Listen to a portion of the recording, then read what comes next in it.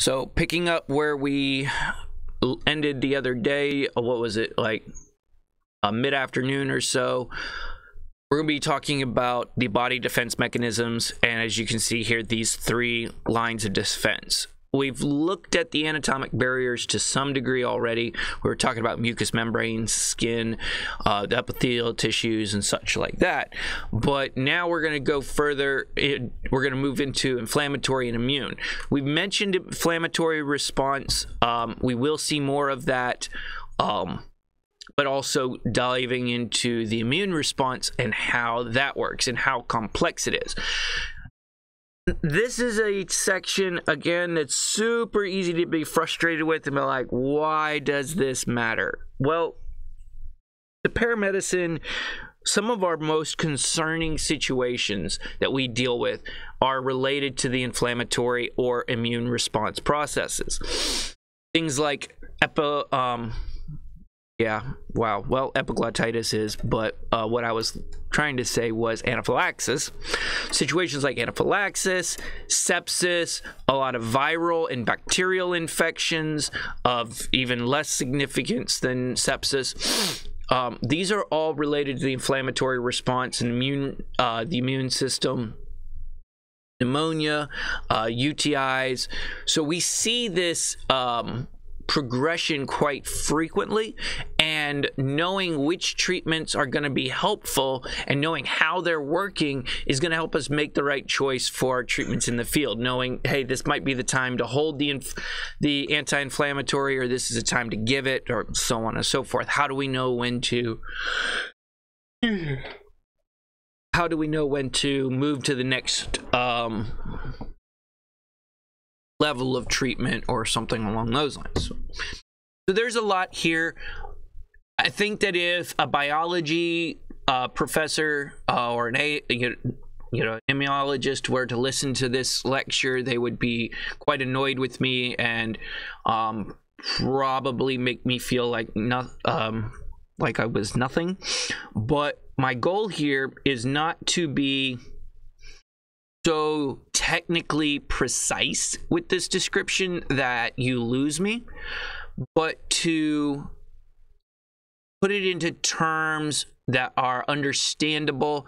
We're not going to be testing you on your names of all of the different inflammatory mechanisms. We're not going to be testing you on all the different steps of the uh, clotting pathways and immune response pathways and activations. But what we are going to be looking for you to have is a fundamental understanding of how the system is working. So, what I intend to do is put this in terms that you're going to be able to grasp quickly and easily that when you see a patient with an inflammatory response or an immune response, you will be able to recognize it and not just know what to do, but here's the real key. This is what takes you from being a mediocre, whatever, you know, we're here kind of a medic to the exceptional paramedic, the paramedic that really is um, thinking ahead, and that literally is thinking ahead.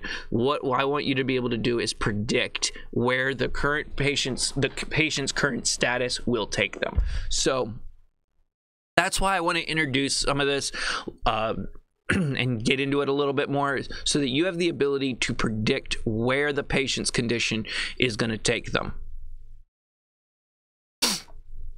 Perhaps the word would be better suited would be anticipate where their condition is going to take them. All right, so we know anatomic barriers. I talked about the skin. We've got hairs in our respiratory tract, um, acids in the stomach. Um, I know this might sound like a gross um, description or a gross thing, but this is actually the truth that um, when you are breathing and you, you have your hair in your nose, you're breathing in dust. Well, the dust is going to have parasites like mites, it's going to have um, bacteria, viruses, and things like that. And those get trapped in the hairs, not cilia, but the hairs in your nose and in the mucous membranes of your nose. Why? Because if they didn't get trapped there, they would go into your lungs. And if they go into your lungs, that's a very thin membrane layer between the outside world and your bloodstream. Um, that outside world are those um, that membrane is very susceptible in, to infection. And you know infections in the lungs are a problem. So your nose catches all of that stuff and then it co- collects it into hard hardened dried chunks right? And we call those boogers right? Well it's all there so that you can blow it out and get rid of it right? Now the funny thing is if that stuff in that booger went into your lung it could make you very sick because it's pathogens and stuff. But if it went into your stomach, the acids in your stomach would destroy it to where it wouldn't cause any issue whatsoever ever again. So when you take your, uh, when you blow your nose and you throw the boogers away, you're just leaving them in the world for somebody else to get sick by. So you know, take that for what it is. But all joking aside, our stomach acid is hydrochloric acid with a pH of about one. And if you were to pour that directly onto your skin, it would scar you literally for life, um, emotionally and physically. But with the mucous membrane that we have on the inside of our stomach that actually is resistant to the acid and protects our stomach lining, we're able to um, process and destroy a lot of the uh, pathogens that enter our bloodstream. Now, interestingly enough, you're like, so how do we get food poisoning? Well, some of the bacteria, a lot of the bacteria that we um, get food poisoning from, have what's called capsules and they're basically the bacteria has shrunk down into a partial structure that is highly protected with a very tight capsule and could live in the harshest of conditions for years before it entered an environment that was conducive to life. Um, and then it just turns back into a bacteria. So, um, some of those bacteria can be ingested in capsule form and survive the, the acids of our stomach. But actual living bacteria that enter our stomach acids, they do not survive, which is why when you get immediate food poisoning, like you eat food and then within a couple hours you're showing a problem, you're not actually getting poisoned by bacteria. You're getting poisoned by the toxins that the bacteria left, like the listeria or the botulinum toxins or something like that. Like the food what had botulism or something, and you're basically reacting to the toxin and the toxin wasn't able to be destroyed by the bacteria by the acid because it was resistant to the acid. When you get some of your other things like salmonella or e. coli these are longer acting these might take several days before you see the symptoms because the bacteria has to basically regerminate, go from the capsid, uh, capsule, you know, um, dormant state into the active live state again, and um, start replicating. And then it has to replicate a certain number of times. You know, I think E. coli doubles like every 20 minutes. Uh, one of the reasons they love to use it in science for so many different things is it's very rapidly replicating. So it doubles, it splits every 20 minutes. So your um, bacterial colonization is doubling every 20 minutes. So one, two, four, eight, you know, and so on. And as you can imagine, it starts to really balloon there after a while. And that's why it can take a, a little while for E. coli to really kick in and uh, get to a dead not well it can be deadly but get to a really um, concerning level. So those are some, how some of those barriers are going to work in our body. It's one of the reasons why you want to make sure that you have decent stomach acid excessive use of antacids and proton pump inhibitors and such. Those are um, definitely going to decrease your um, resistance to illness um, so we're going to look at some more of these things as well.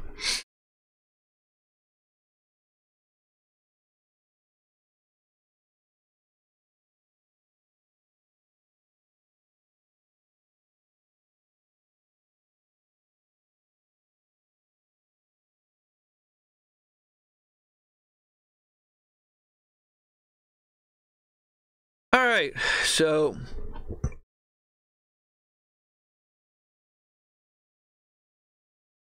these are two different ways that, that can happen. Um, bodies, foreign substances, abnormal growths in cells, changes within the interior of the cells. The changes in these cells could be invo- could be a uh, infect infection with a or infestation really with a virus um, not necessarily that the cell has changed but that a virus has entered the cell and that causes the protein markers on the cell to be changed um, but anyway, lymphocytes is where we're going to see the B lymphocytes and the T lymphocytes, you know, the B cells and the T cells. Anybody know why they're called B cells and T cells? Do what?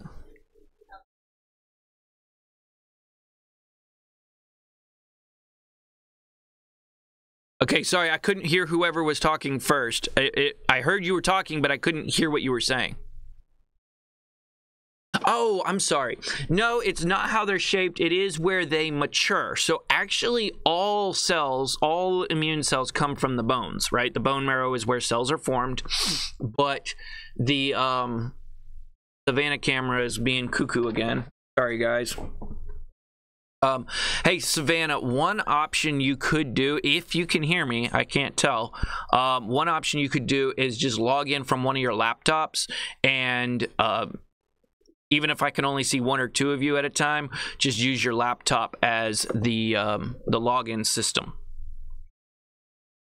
So, all right, so all blood cells are developed within the bone marrow. However, B lymphocytes are typed and matured within the bones. Their whole maturation process start, starts there and ends there. And when they're released from the bone marrow and from the bone, they're ready to do their job. And um, they're out circulating. They, they are what we would consider a pretty standard um, immune cell, white blood cell. The um, now T lymphocytes, they are developed and um, mature in the thymus. The thymus is that gland in the center of your chest that um, sits right in front of the heart, right in front of the aorta, the descending aorta, ascending vena cava. So right about here.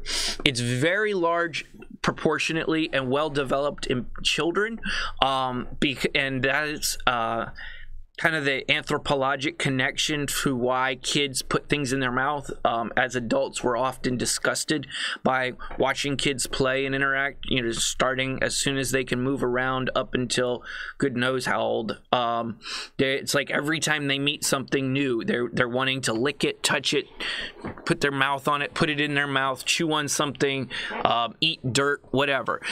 This is rather concerning when we watch it because we're like, ew, that's gross. You don't know where that's been. And, you know, some of that is very true because there's residue that's definitely harmful. But in the typical wild world that has not been um, contaminated with particularly infectious conditions, that is actually the healthiest thing the kid can do. Uh, playing in the dirt, uh, getting filthy, then eating lunch by and forgetting to wash their hands, that kind of stuff exposes them to a myriad of different bacteria, fungi, viruses, um, even to the to some degree parasites and such that their body as a in, as a child, as a toddler, as a young child, has an incredible ability to build resistance to. This is one of the reasons kids pop fevers like nobody's business at the drop of the hat, and it's because they're trying to type responses to every new organism and pathogen they come across. Um, and that thymus is doing that work. It's creating massive quantities of T cells. It's a huge demander or um, of energy. It's uh, constantly demanding uh, high metabolism levels. So it's a very active organ, and kids living in that world are um, you know living that way are much healthier for doing so. Now i'm not by any stretch of the imagination advocating for kids playing in cat boxes or chicken coops okay? P- please don't misunderstand me. There's definitely a point of um, pathogen overload but um, a lot of really interesting studies have pointed to that uh, kids raised in homes where moms want to Clorox everything and everything has to be constantly wiped down and they can never play on the floor. They have to be on a blanket and they can't play outside. Then they, uh, you know, that kind of stuff. Those kids end up with a very underdeveloped immune system and become far more susceptible to disease processes as they age. Whereas children that were, and I mean, in some ways you could say the country kids, the farm kids, the kids that were raised out in the dirt and in the woods and all that all the time, those kids have a very strong immune system because they met those pathogens in small doses per, their body typed to it and uh, they were much healthier. Um, one of the reasons that we as uh, members of developed societies um, and developed meaning like infrastructurally developed with high high standards of water purity and food purity and all that.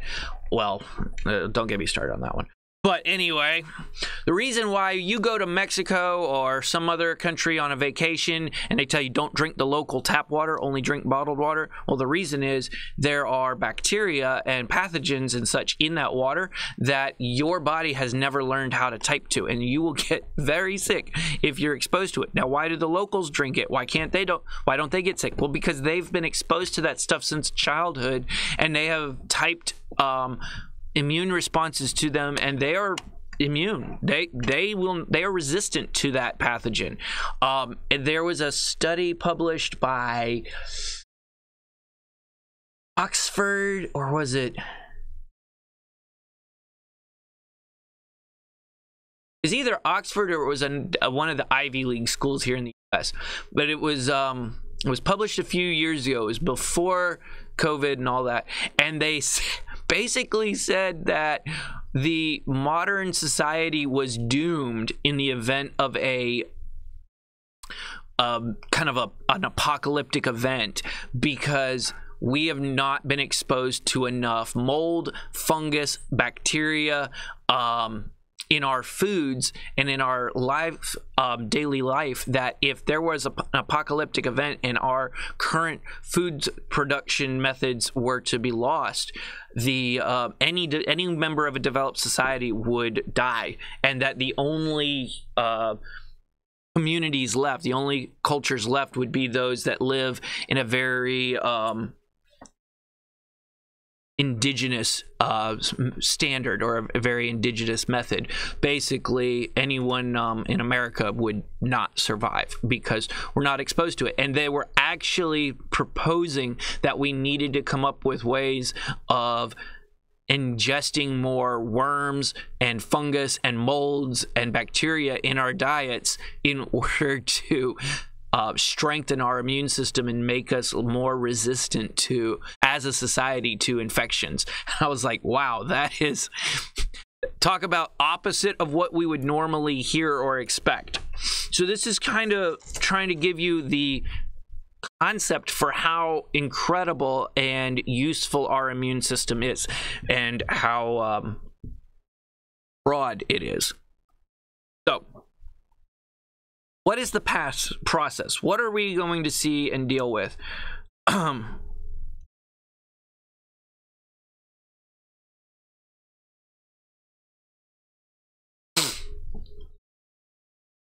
So we have different bacteria, and this is we'll we'll use a bacteria because it's one of the easier um, examples to explain.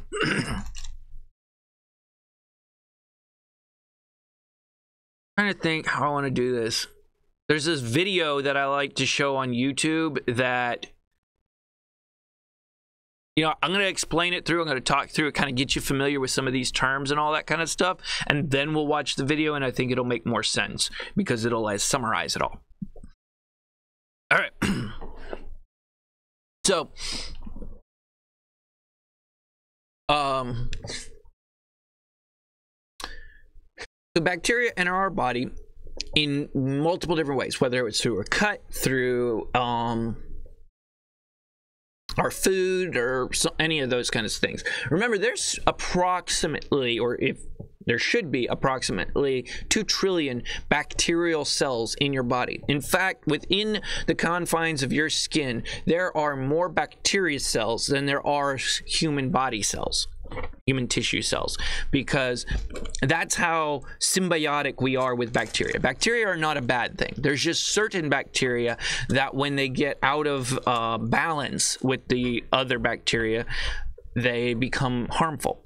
Now, we have infectious bacteria on the surface of our skin all the time. We are covered in staph and strep and um,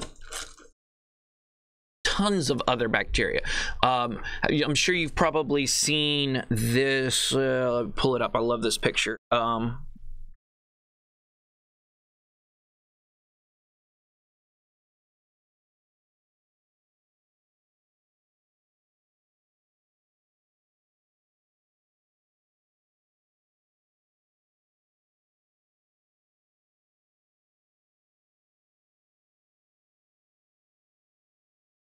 Here we go. All right.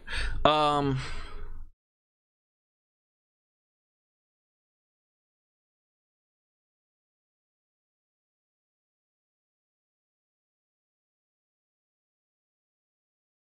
All right, so this is a petri dish of a toddler's hand. They just took a basic handprint, put it on the petri dish, and cult cultured it.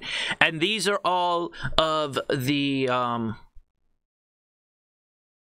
colonies of bac- various bacteria. Every color, every shape, every one of these is different.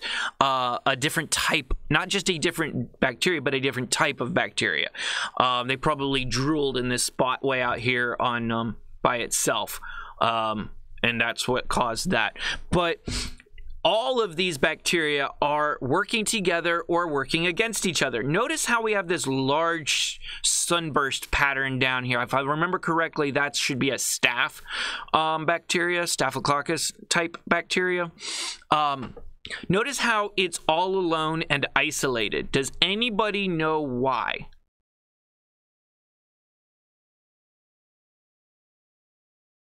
So when a bacteria is trying to compete for nutrients, and this is on an, uh, a petri dish of agar, so this is a nutrient-rich um, material that it's on.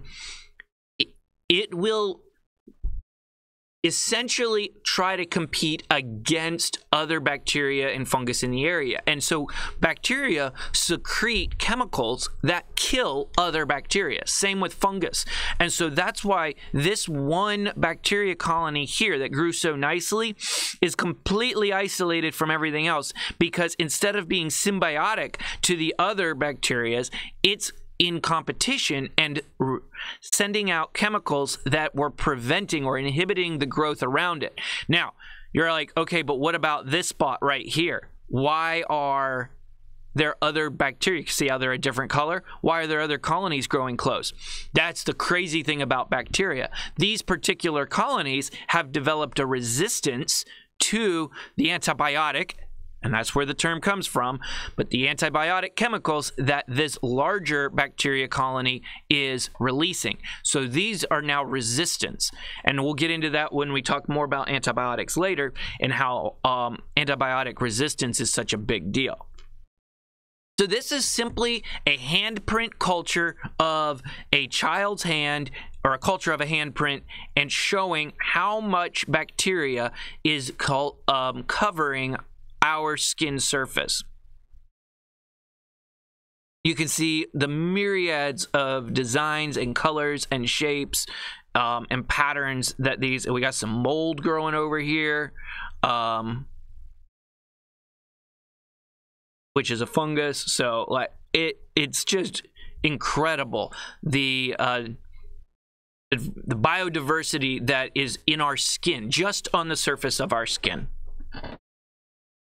Which is why if you have a immune suppression condition, let's say, you know, we'll use the big one that everybody always talks about. Let's say you have AIDS. Okay. You have AIDS, and AIDS prevents your immune system from functioning adequately. Another option could, let's say you have UC, ulcerative colitis, or autoimmune disorder. And so you're taking immunosuppressants on a daily basis in order to keep that autoimmune disorder under control. Well, you're going to have a decreased resistance to infection. And so those resistance could release or lead to a um, a opportunistic infection where you're basically your natural defense, the ones that we're going to be talking about here, lose their ability to fight infection, and then that normal uh, infection level or that normal bacteria level on the surface of your skin actually starts causing inflammation and infection. So the people are people who are on cancer treatments, people who um, immuno major immunosuppression, they'll just burst out into staph infections all over their skin because their body no longer can fight and the staph just starts taking over. So Let's back to our PowerPoint here. How does this work? The bacteria enters the body through whatever route necessary. Macrophages will tend to ingest it. Now, encapsulated and non-encapsulated are um, referring to what I was talking about, but well, not exactly, but somewhat about what I was talking about before with the um, capsules or the capsids that are around our bacteria that enter the stomach and live those are really should i should have referred to them as spores um, because that's where the bacteria kind of squeezes into this hardened shell. Um, whereas the capsule is kind of a um, or gel-like substance that's around the bacteria that protects it. With that gel, macrophages cannot phagocyte. Um, that's why they macrophages. Um, they cause phagocytosis. They swallow the bacteria whole. Um, encapsulated cells. They have this gel gooey gel around them and macrophages don't recognize them. So they have to be typed by antibodies. Antibodies have to trigger them and then the macrophages will rec recognize that they're um, there. And we'll show you that process later. All right. So these are how um, our body will work. If we can't immediately ingest, if the macrophages can't immediately ingest the bacteria, then antibodies will do something like this. They'll target the capsule, they'll, um, which basically by attaching to it, they then attract the macrophage to them. Kind of like if you play Call of Duty and you want to call in an airstrike and you have to use the laser designator to paint the target in the game, that's what these antibodies are doing. They're tagging that bacteria, painting the target so that the macrophage can come through and swallow it up and recognize, oh, this is a problem. We need to get rid of this guy.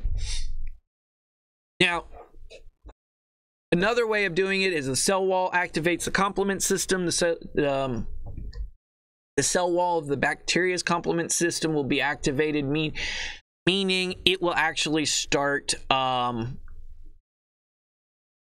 releasing chemicals that attract other macrophages to it. So it's not so much the targeting as much as it's um, the complement system makes the cell wall more attractive to the macrophage. It's kind of, it's definitely different, but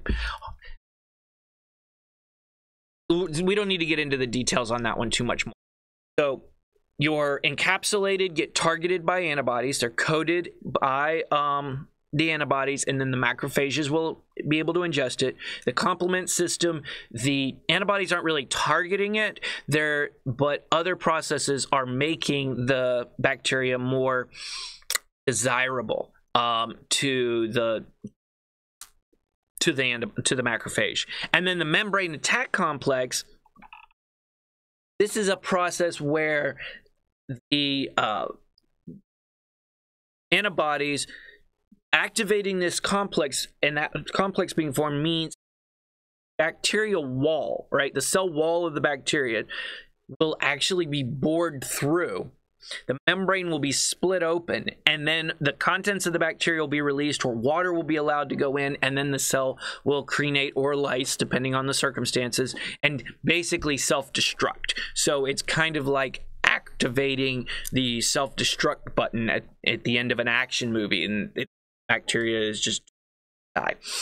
Memory B cells and T cells being activated is a different process. Memory B cells will find the bacteria's information, they'll take pieces of it and store it and say next time we see this we know to attack it right away. And then they they'll already have formed antibodies of able to be released and it cuts out several steps of the process. Now the t cells t cells are like i said they form in the thymus. They are killer cells. Now there are some helper t's and things like that but for the most part they're killer. Where a um where a, a, macrophage might swell or uh, swallow the entire bacteria whole and eat it, a T cell would connect to it and basically detonate it. It will inject it with some DNA and cause it to implode from the inside. The same process works on other tissue cells. So, like in our body, when our cells become virally infected or our um, or there's an organ transplant and there's foreign or- organs in our uh, foreign tissue in our body, our T cells will attack those cells and trigger them for self destruction. And they'll just um, blow, well, basically destroy the cell on their own. And they're very effective at that. Um, so here's a long list of all of the different types of cells that we have within our immune system. Um, you'll recognize a lot of the beginning ones: baso, eosinophil, neutrophil, monocytes, lymphocytes, macrophage. These are all our common white blood cells that we uh, refer to. Now, the macrophages are very large. Um, they're also um, more specific and typed to the the condition that you need them to be dealing with. They're very effective, but they're unique. Um, whereas the monocytes, they are just out there doing whatever they want. They patrol anything that seems like it shouldn't be there. They destroy it. Um, Whereas the macrophage, they're going to be more unique and specific to this type of an attack. So you will see the macrophages on blood tests when the patient has a well developed infection. Mast cells and um, Basophils, we'll talk more about them later on, but basically they're the same type of cell. It's just the difference is where they're found. But they're what we would call granulocytes. They are what release histamines and they release leukotrienes and chemical mediators. They're kind of like the watchdogs. They are the sentries. Um, they sound the alarm when there's a, a invasion or an infec- infection. Then you have the helpers and the memories. Um, and oh, I already kind of mentioned the T cells a little bit uh, before, and we'll we'll break some of these down more as we go. But this is just kind of that description. Do you need to remember every single one of these and what their jobs are? No. You do not. That is not the purpose of this class. But I'm explaining these all to you so that you can just have a hey, there's a blood cell that does this. There's a blood cell that does that. There's this is why they work together. So, um I'll try to give you enough detail that you can follow, but then back it up and simplify it so that we can understand. All right, so natural immunity. Natural immunity is our essentially are monocytes. They don't care. They don't know what it is. They're just out there roaming, looking for anything that doesn't look like it's supposed to be there, and they'll destroy it. And they're pretty good at it, but they can be easily overwhelmed because there's only so much that they can consume. When you get a cut on your skin and it starts to get infected and gets pussy, and you see that purulent discharge and that, you know, the pus coming out of it. Pus is a bunch of dead monocytes. That is what it is. It's a bunch of dead white blood cells that have literally eaten themselves to death on bacteria and have uh, built up in that tissue. So while yes, you want to clean the pus out and get it out of there because the swelling is going to hurt the tissue, um, and you want to make room for new white blood cells to get in there, Pus is actually our body doing its job.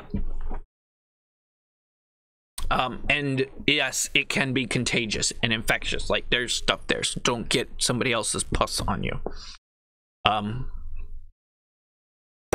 All right, so that's natural immunity. We have many other responses there. Now, the other process of immunity is acquired. This is what we talk about when somebody gets an infection and then they make antibodies to it and then they have memory cells for it and things like that. Those are where our um, you're exposed, you type a response, and the next time your response is faster because you um, already had a previous exposure.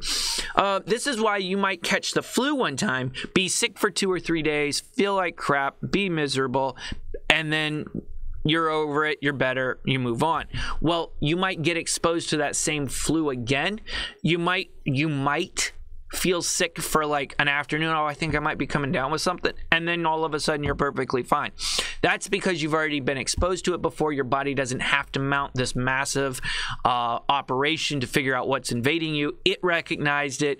Your antibody load skyrocketed and the viral load was destroyed before you even um, knew you were sick.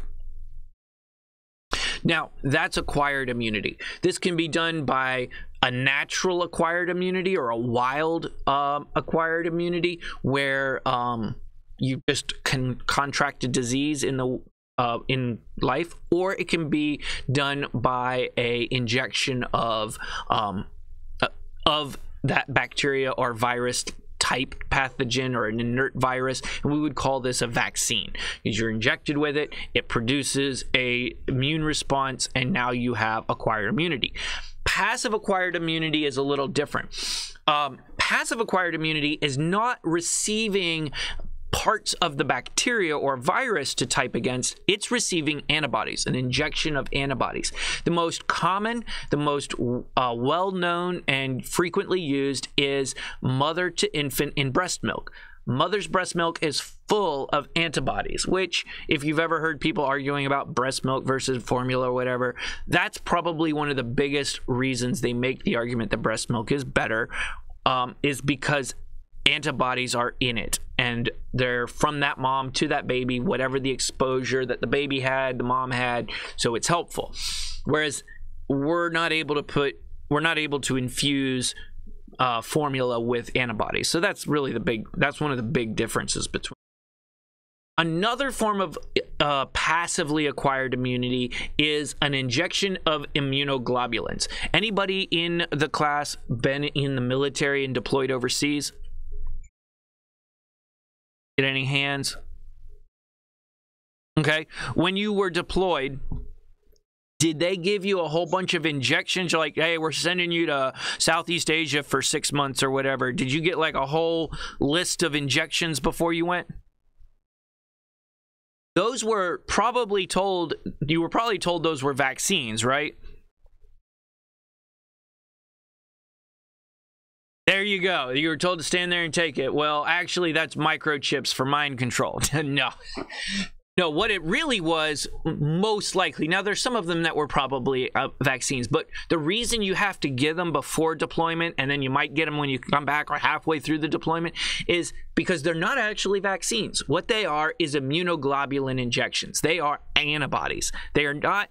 They are not bacterial or viral um, particulate that your body is going to react to. They are the actual injections of antibodies saying, hey, we know you're about to go see dengue fever and malaria and all these other things. So, um, we're going to give you antibodies for these diseases so that you have a better chance of resisting them when you get there. Now, these antibodies will only last for a certain period of time, so we'll have to re inject you and get you a booster. All right? You're boosting your antibody load. Following? This is not the way a vaccine is supposed to work. And I'm not trying to get political, so please don't turn it into 2020 again. But immunoglobulin injections require frequent boosters, just like your tetanus booster. You're not actually getting exposed to tetanus, you're getting a passive injection of tetanus antibodies. Now there are there's two different ones, okay? There's two different tetanus injections and one is tetanus bacteria particulate um cell fragments that you're being uh, exposed to, and the other is just an immunoglobulin booster. And they're like, "Hey, when was the last time you had a tetanus shot?" Well, that's they're talking about the booster, and that's why you have to get it so frequently. That's why if you get cut and you're like, "Oh, you might have been exposed to tetanus," would giving you particulate of the bacteria actually help you speed up the inflammation process if there's tetanus bacteria already in you?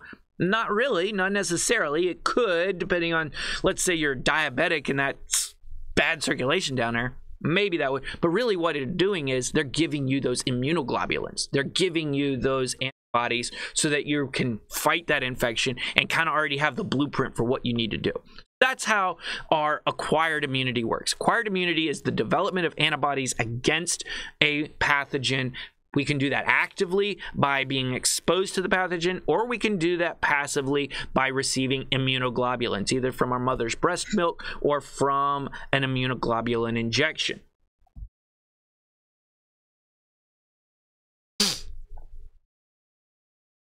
Oh, that's another a really cool example of that is when there was the Ebola scare in 2014 and everybody thought we were all going to die of Ebola because, you know, we watched idea number 1. Um when they brought some of the uh, people that had become infected, some of the uh, healthcare workers that had been in the hot zones dealing with the um, outbreaks, they brought them back to the U.S. for treatment at Grady or was it Grady or Emory? Emory, excuse me. They they were doing the treatment at Emory. Uh, when they brought him back for that treatment, they were not giving the patients a vaccine. Okay, there there is no vaccine per se. But what they had found was that some of the healthcare providers that had been exposed and then had healed or had you know they had been infected they'd been contagious they, they had the full-blown disease but were able to get over it and heal, they had developed antibodies within their blood plasma. And so, what the treatment that was being done was they were doing blood plasma transfusions from the um, person who had been exposed and developed those antibodies to the person who had been exposed and had an infection and hadn't developed the antibodies and they were doing that direct transfusion and that's why a few people were able to be brought here to the to Emory and treated and then healed and people were all like well why are we treating them and not doing the same thing for everybody in the outbreak zones and not and um what was it the uh, oh, there were so many different uh there were a number of different nations in the area uh, in the um, in the hot zone at the time. But anyway, why weren't we doing that? Well, because we didn't have a vaccine, and the guy, the literal one guy who they had found the antibodies in, only has so many units of blood right? So they can't just drain all its blood and give it to the entire population of like four uh, West African nations. Like that, you know, that's not effective. But he, they were able to help treat a few of those nurses and doctors with that method. So that that's another example of a passively acquired immunity. They were giving his antibodies to these uh, patients so that they could help fight it all right. Somebody just asked me question about let's Crystal said, "What about bot flies? What's your take on how that and how it affects the body?" Bot flies are parasitic, and you, I believe you're referring to the fact that when they um, they enter our bloodstream in um, in something we eat, um, in basically like a capsule or a um, larval state, and then they find their way through our intestines into our bloodstream. They find skin tissue, muscle tissue where they start to grow um, because they feed off of muscle tissue, and then they make their way to the skin surface and um, cut a little hole and leave, right? And that's where we call wolf worms, right? If you've ever had animals that uh, you know pets or whatever that's a wolf worm horses cows get them and that's that's how that process works. Um, so that being a parasite more so than a bacterial infection is a completely different uh, response. Um, very that that that's um a lot harder for our body to respond to. I'm not certain if I answered your question completely or satisfactory.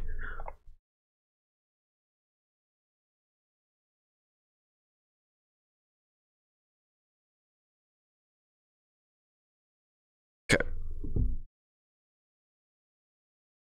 All right. So remember how I mentioned a minute ago Bacteria enters our body, our body starts an attack to it. That is our primary response. We've never been exposed to this antigen. We create a primary response to it, and um, the macrophages, or well, not so much the macrophages, the monocytes, but but more so, there's cells that are called dendritic cells. Will um, they basically go full Mad Max on the bacteria. They enter the area, they consume the bacteria, they tear the bacteria to pieces, and then they take chunks of the bacteria wall and post it on the outside. They stick it all around the outside of the bacteria. Okay, so kind of like in the Mad Max movies where you see the crazy people running through the desert and they take their victims and they chop them to pieces and hang their heads and limbs and all that on the outside of their cars. Like that's what these uh, dendritic cells um, are doing. And they tear the bacteria apart, stick it on the outside of the cell, and then they go back to the lymph nodes. And at the lymph nodes, they basically show up in the lymph nodes saying, Yeah, look what we got, look what we got, and show that bacteria fragment to all of the other immature cells, all the untyped cells within that, um, or non-specific. They're they're they're very much mature lymphocytes. They just haven't been typed to a specific um, pathogen, right? If you think of that whole, you know, Mad Max scene where they're like, "Ah, we brought our victim back," you know, like everybody's excited, let's party. Um, you know, the headhunter scene from a you know a 60s or 70s movie.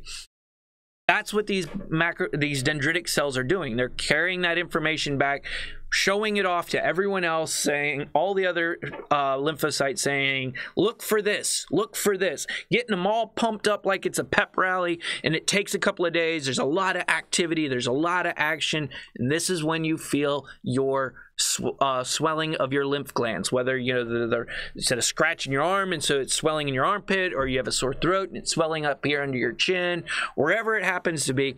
Those are your lymph nodes creating an immune response. This is where the dendritic cells are pumping up all the B lymphocytes. Let's get growing.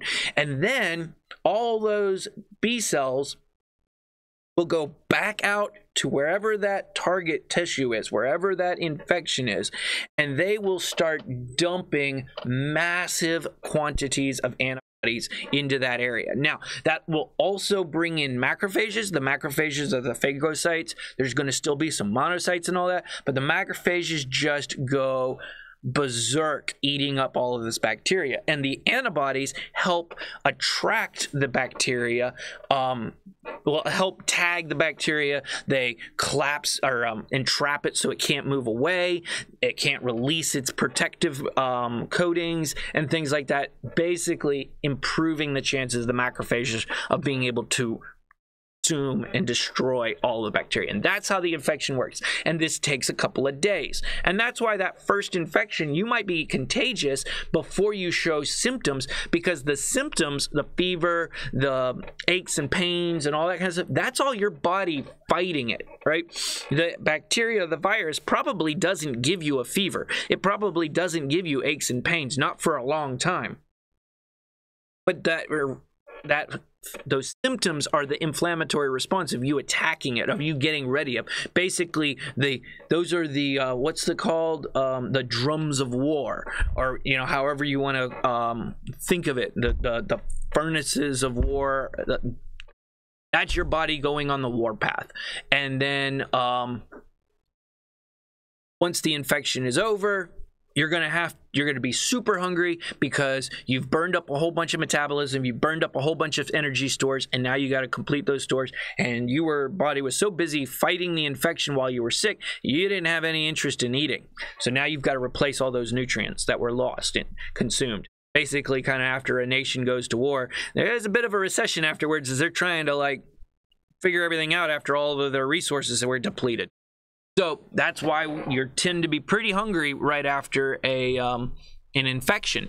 Now, the next time you get exposed to that same pathogen, you have what's called the secondary response. Now, remember those B lymphocytes I saw that they got all pep rallied up and hyped up to go out and fight the enemy and release all of their antibodies? Some of those as they are being typed, they're going to turn into plasma cells. The plasma cells are what releases the antibodies.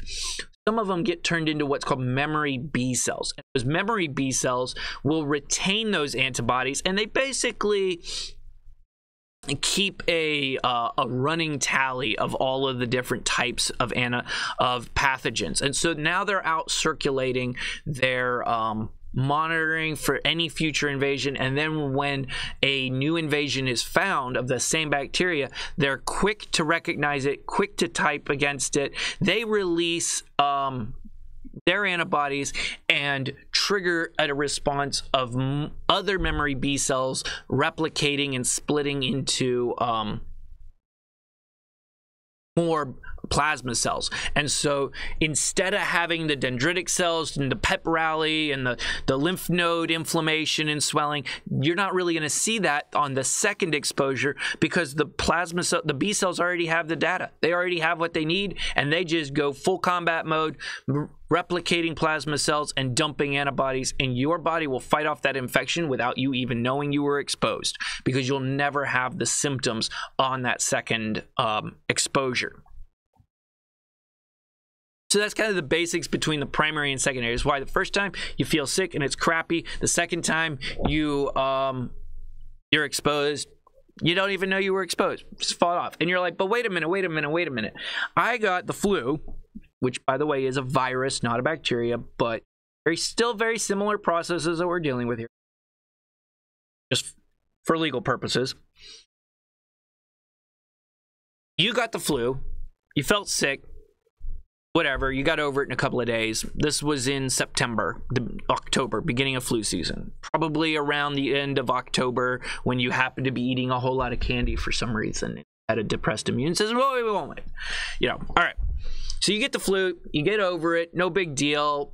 You go to Thanksgiving with your friends down the street, you watch football, everything's fine, nobody gets sick, everything's great, right? Christmas comes around, and all of a sudden, people are getting flu again, you get the flu again, now you're really sick. And you're like, wait a minute, why didn't I have a secondary response? Why did I get the flu twice? Good question. You got exposed to a flu virus that was indigenous to your area. It was endemic. It was local, right?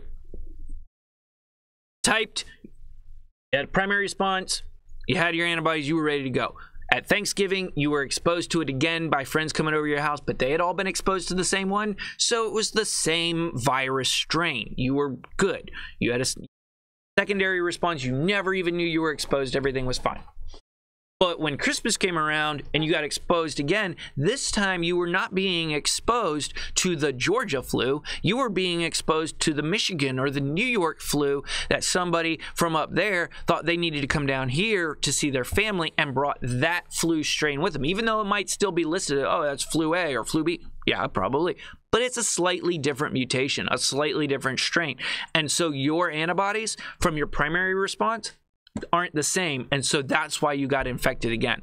This is the same concept for why a person might get the um, flu vaccine but then still acquire the flu later in the season because the flu vaccine is designed to process or to protect you to protect you. It's designed to expose you to eight different generally roughly so like it varies some, but you nearly six to eight different viral strains, and they look for the strains that they think are going to be most likely to um, propagate in the um, regionally. Create that vi- vaccine and ship it out, and then hope that those are the strains. Well, if there's mutations, if there's different strains that show up, that's when problems arise, and that's why was it 20 17 or 18 i can't remember which year it was it was like basically everybody who was getting the flu left and right really bad because um and it was determined and admitted later that the flu vaccine um was effect was basically ineffective that year because it had been um, typed to virus strains that really didn't go anywhere.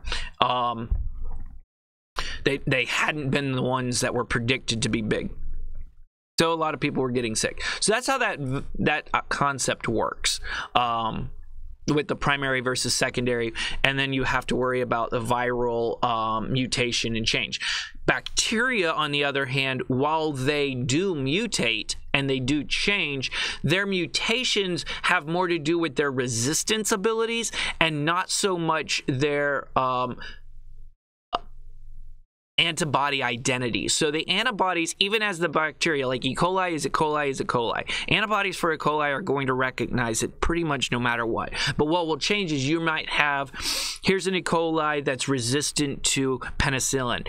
But then you have this E. coli that's only resistant to um, cephalosporin, and then here's this E. coli, and it's only resistant to methicillin, and it's uh, and but now it's resistant to methicillin, and it, it, here's this E. coli, and now it's resistant to VRE or not VRE, um, vancomycin, and so you have these different levels of antibiotics the bacteria is changing and developing resistance to that and um, let me show you a quick YouTube video on that, and then we'll go on break.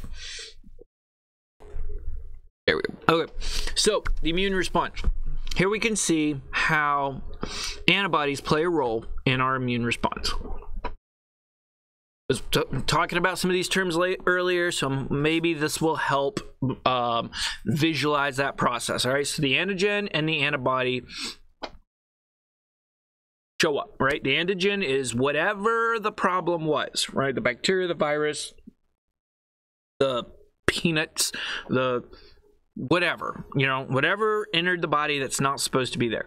The body's like, "Ooh, we don't like you. Here's an antibody that you uh, that is specific to you, and they bind together, forming the complex. And so that's where you can see the antigen antibody complex. Now, within that, you can have a few different responses. First, it could become the com complement activation, or it can become one of the other three options. They kind of go in those uh, three directions there. The complement activation is, as you can see, the antibody basically changes a um, the pumps on the bacteria's cell wall and starts allowing sodium and potassium to move into the cell, which pulls water with it that swells the cell and basically bursts. So, as you can see,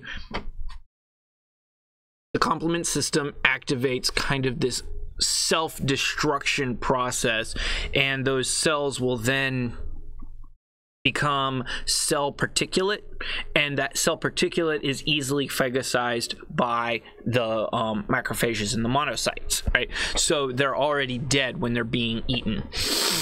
Now the other option with your um, antigen antibody complexes are these three the precipitation agglutination and the neutralization all right? So precipitation is what you're going to see when you have like viruses or a real um, toxins like bee venom or peanut um, proteins and things like that. Stuff that's very small much much smaller than a bacteria so there's no cell wall for it to uh, be to have activated and it's also so, so small that it's unlikely that a white blood cell, a macrophage, would be able to identify it and phagocyze it. So the um, precipitation is going to bind all of the little particulate together into larger clumps that make it easier for a um, phagocyte to come along and collect it. It's kind of like if you've ever had a had to work with cleaning a pool or a pond or whatever where you put a chemical called a flocculant into it you, it's uh, basically it makes a, like a clarifier if you've ever seen like on a um, swimming pool kit or a spa um, hot tub kit or something like that.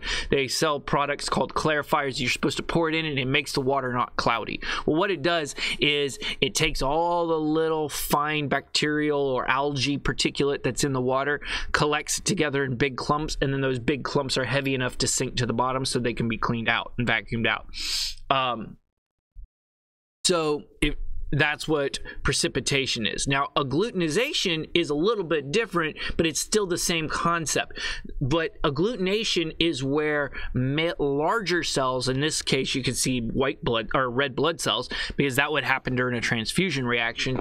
Agglutination is the cells get bound to other um, cells via these antibodies. These antibodies are holding everybody together, making larger clumps, and those larger clumps are no longer able to cause problems because the cells have been basically stagnated. Of course, that could cause a really big problem if it's red blood cells in your bloodstream, but that makes it easier for phagocytosis to happen because it gets identified as here problem is um, it think of it kind of like a crowd control where the um, they're just bringing in the gate the fences to say all right we're going to hold you in this area. We're not actually arresting you. We're not moving you. We're just squeezing you into this area and sequestering you with the um, crowd control fences that way um, yeah, that's agglutination. You're just being bound together into the same area to keep them from doing something. The last thing that a um, antibody might do is called neutralization. And there might be antibodies for all of these things happening at the same time. Neutralization is some bacteria will release toxins. Like I mentioned earlier, the botulism problem um, it comes from a bacteria. Botul- uh, there is a bacterium that does that, but it releases a toxin, the botulinum toxin, and that toxin is what makes a, a, which was what can poison you and such. So a lot of other bacteria and substances release these toxins, and antibodies can actually bind to those toxins because they're often protein based of some sort. And so the antibodies bind to it by binding to it. It prevents that toxin from being able to harm your tissue because it's been removed. And then the antibodies are quickly recognized by the macrophages and phagocytized. So, you see, the complement system does not result in phagocytosis until after the cell has died, but all the others are either just little particles being clumped together into big particles, cells being clumped into uh, groups that can are no longer harmful, uh, or the uh, byproducts of bacteria being neutralized, and then all of those going to phagocytosis.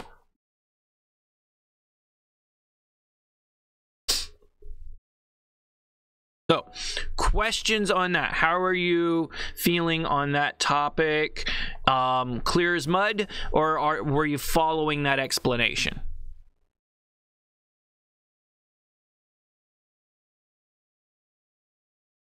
guys are sleep. What's that? I didn't hear you say that again. So so? Okay. Well, we're gonna keep. We'll, Yeah, sure. Gotcha. All right. So this is showing how antibodies work. All right. So the antibody, and, and we're going to deal with more, but a minute ago, I was talking about your primary and secondary immune responses. This is how the antibodies work within that immune response. Um, so the antibodies will bind to the bacteria, the virus, whatever it is, and form one of these four complexes, which will then result ultimately phagocytosis because the bacteria is destroyed or whatever it happens to be because different organisms will respond differently. So um, and th- and this is how, but ultimately, antibodies in one way, shape, or form assist in the destruction. As you can see, in all of these situations, none of the targets have been destroyed by the antibody. In the complement system, the antibody makes it possible for the the bacteria to be destroyed. In precipitation it binds it together to make it notable and you know noticeable by the phagocytes and agglutination. It it uh, corrals them together so that they can't go anywhere so that for agglutination person or for um, phagocytosis and then neutralization it just does that. It stops the chemical from being the poison from being poisonous getting it ready for phagocytosis so those are ultimately antibodies lead to phagocytosis but phagocytosis is what removes the bacteria destroys it gets rid of it it's gone Now, immunogens, these are anything that enters our body that causes an immune response. All right. So, this, like we said before, proteins from peanuts. It could be the, um, a virus, a bacteria, a fungus, um, foreign tissue cells. Immunogens are just something that causes an immune response. Now, a hapten, we're not actually going to get too worried about that, but haptens are a generally a chemical structure, often like an oil or something, that is not actually an immunogen. But when it binds to the organic matter on our cells, it creates a hapten cell complex. And that new complex is actually an immunogen, which is what poison ivy is, for example. Here in Georgia, we seem to get it a lot. So if you run into it, you're not actually an allergic reaction.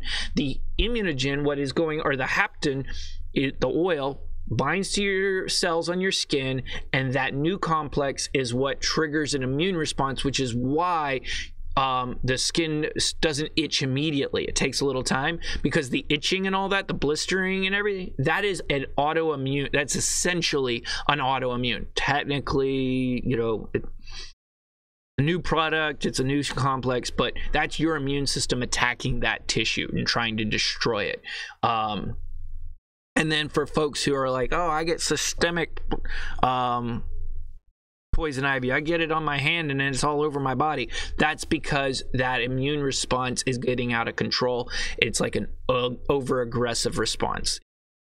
You know, kind of the difference between an allergic reaction from a bee sting and an anaphylactic reaction from a bee sting. You know, the difference between a localized poison ivy versus a systemic poison ivy. Now, some people are significantly sensitive to it so that like the oils that are coming out of the smoke of poison ivy when it's being burned, you know, that gets in their lungs and all over their body, then that's just that's all it takes for them to start the response. So that's a little different.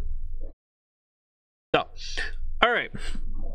So we talked about primary and secondary exposure. Remember, primary is the first time you get it, and you've got to go through this really long pathway in order to type antibodies and, and make antibodies to attack this invading substance. The secondary response is you've already got antibodies stored somewhere in a memory cell, and those memory cells can instantly start replicating and producing new antibodies without a larger process. So both of those process procedures are headed towards getting us antibodies in the bloodstream. And so this is what we can see here in this image. It's at the very top. The um, cells are just B lymphocytes. These B lymphocytes are going to be uh, floating around in our bloodstream. These are like the dendritic cells that I mentioned earlier. Um, they have very similar functions and things like that. Very, very, very similar they're looking for antibodies. And when they find this new antibody and they've typed it to the outside, basically they're made with like every possible variation of protein binding connection points to see if something they'll ever run into something that happens to bind to that and that's what an antibody is is it's just a little protein control marker that um you know it might be it, it you know, in drawings, people like to draw them as a curve shape or as a um, V shape or as a square shape or, you know, it's just to depict it. But it's protein binding or chemical binding sites that are looking for very specific chemical patterns or, you know, mo- molecular patterns. And these lymphocytes, these B lymphocytes, they have tons of these binding sites on them trying to basically be ready for anything they find. Then they find something, it's reacting, they take that back to the lymph node, and in the lymph node, they find all the lymphoblasts. These lymphoblasts are mature but not specific cells. Those turn into where you get the memory cells and the plasma cells. And you can see the pattern here where the B lymphocytes, they bring the antigen to the uh, lymphoblasts. The lymphoblasts start replicating, and your result are these plasma cells. These are antibody producing cells. These plasma cells are basically massive antibody factories and they go to wherever the cell the invasion wherever the infection is and start dumping antibodies like nobody's business. They just flood the area with antibodies. And then sometimes a memory B cell is made and kept. Now, that memory B cell, as you can see in the secondary response further down the slide, that memory B cell um, already knows what that antibody, um, that uh, pathogen is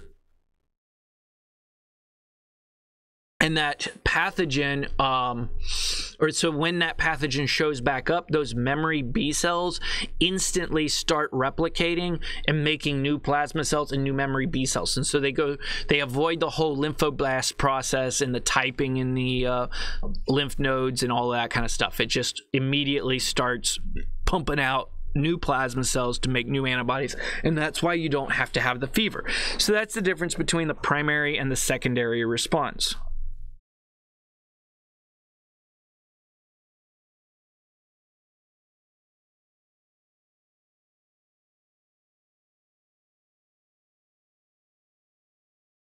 I didn't hear you say that again.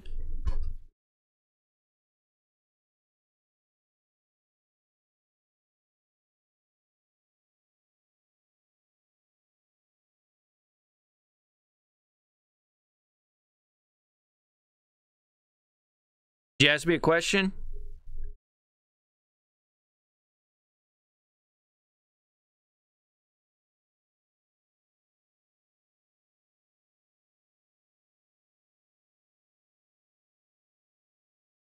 Guess not.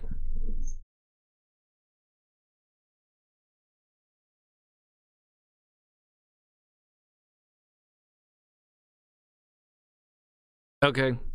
Thank you.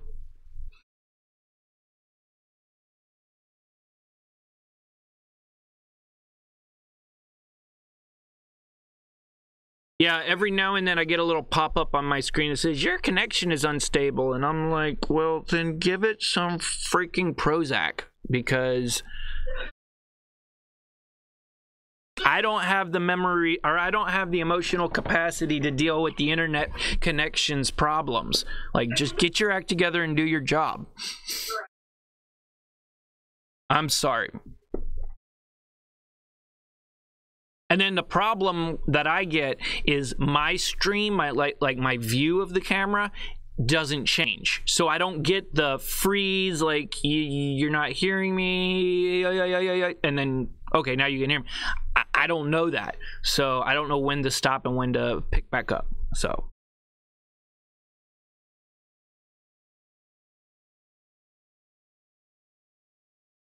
All right.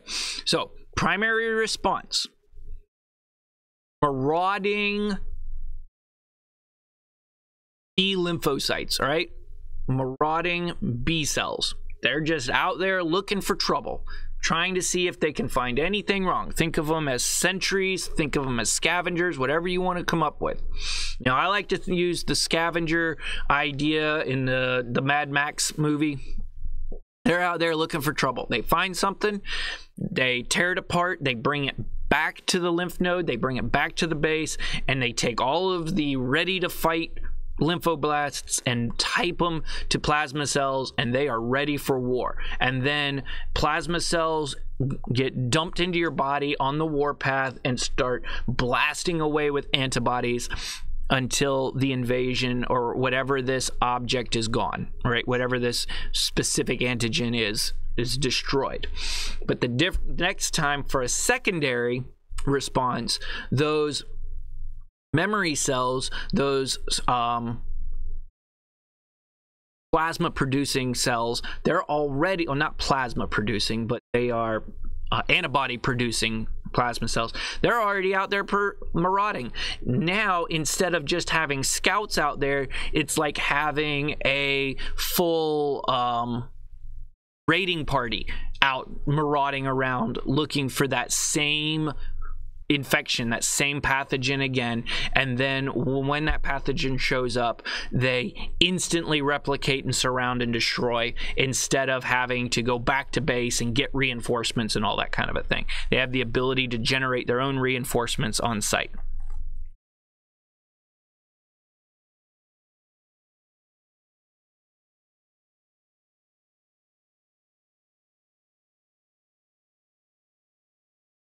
All right. Um Yes, we talked about that. Um all right, this is also showing another um, example of, or another ex, um, explanation for activation and T lymphocytes. Um, to, be, to be honest, I don't really want to dive into the activation too much. Activation in T cells gets really um, Mm. This is where it starts to get really confusing, but um, T cells and B cells have similar functions, or not similar functions. They have similar purposes, but they do it in a different way. B lymphocytes make antibodies. T lymphocytes attack cells. All right. So when you have a invasion with something small, um, like viruses, your antibodies are going to get really aggressive to that. Uh, but if that virus gets into cells and starts replicating within a cell or causing the cell to build new viruses or the bacteria is really strong or whatever, the um, or large bacteria and things, the T cells are actually the ones that come in and destroy individual cells. So whereas a lymphocyte will send out antibodies and the antibodies send out uh, destroy the cell, the T cells um, show up bind to the complex and basically deposit a bomb in that cell and cause it to be destroyed. Um, I think a good example of that would just kind of like in a um you know like a war like a sci-fi war movie or whatever when the the submarine like or the spaceship comes up to the mothership type thing and it connects to it and it places the bomb on it and then it releases and moves away and then that bomb goes off and boom the, the big ship is gone. That's what t cells do. The t cell binds to the cell, activates it, sets off the bomb, and then releases, and then that's that target cell is destroyed. Whereas the B cells, they just make the antibodies, and the antibodies uh, target for are uh, create the target for destruction.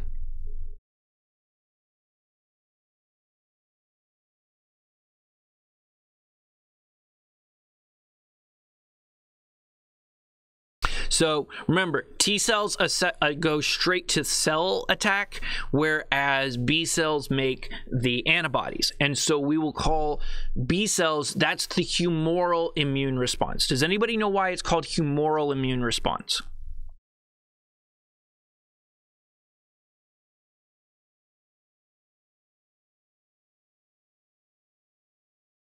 Okay. What does humor? Anybody have connection or like or memory? What like what does humor make you think of?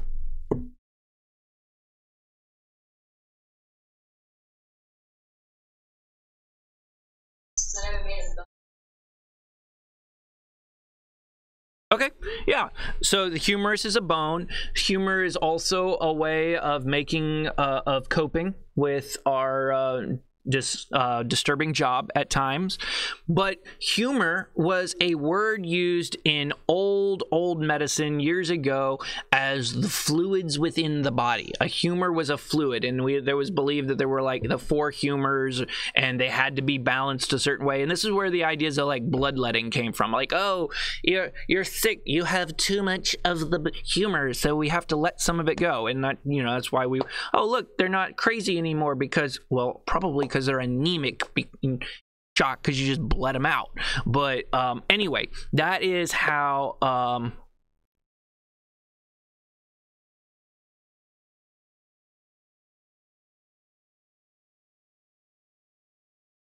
that is how um, the name for fluids got called. Now, because antibodies are not cells, antibodies are released into liquid, they're released into our blood and they flow through the blood.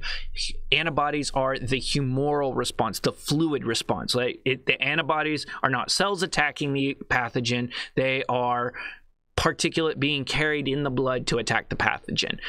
Whereas cellular response is where the T cell is directly attacking the invading cell or or the abnormal cell, like a direct attack.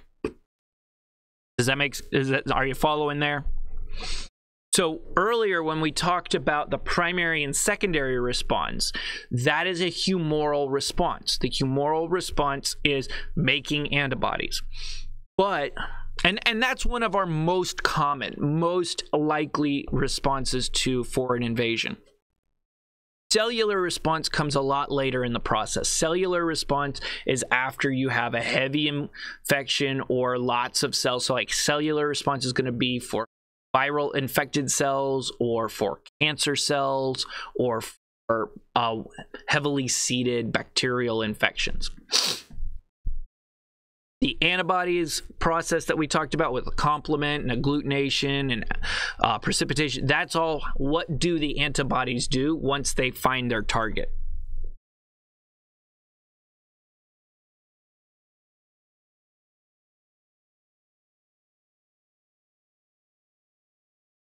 All right. So, um, the helper T cells, I'm not going to dig into them. If you're curious, helper T cells do what they say. They help. They bind to another cell and basically pump it full of energy, give it the energy to do what it needs to do, or in another, and in some cases, actually, um, they're the safeguard that, like, let's say a killer T cell shows up and says, um, I'm going to kill you it can't actually bind and kill the cell until the hel- helper T cell also binds and says, "Yes, this is confirmed." You know, kind of think the the war movie with the sniper and the spotter, and the sniper's like, "Oh, I got him in my sights. I'm ready to pull the trigger. I'm ready to go. I'm ready to go." And the spotter's like, "Wait, wait, hang on. I got to confirm. All right, we're confirmed. You're clear to shoot. Take the shot." Like that's what the helper T cells do to help um, allow the B cells and the T cells. So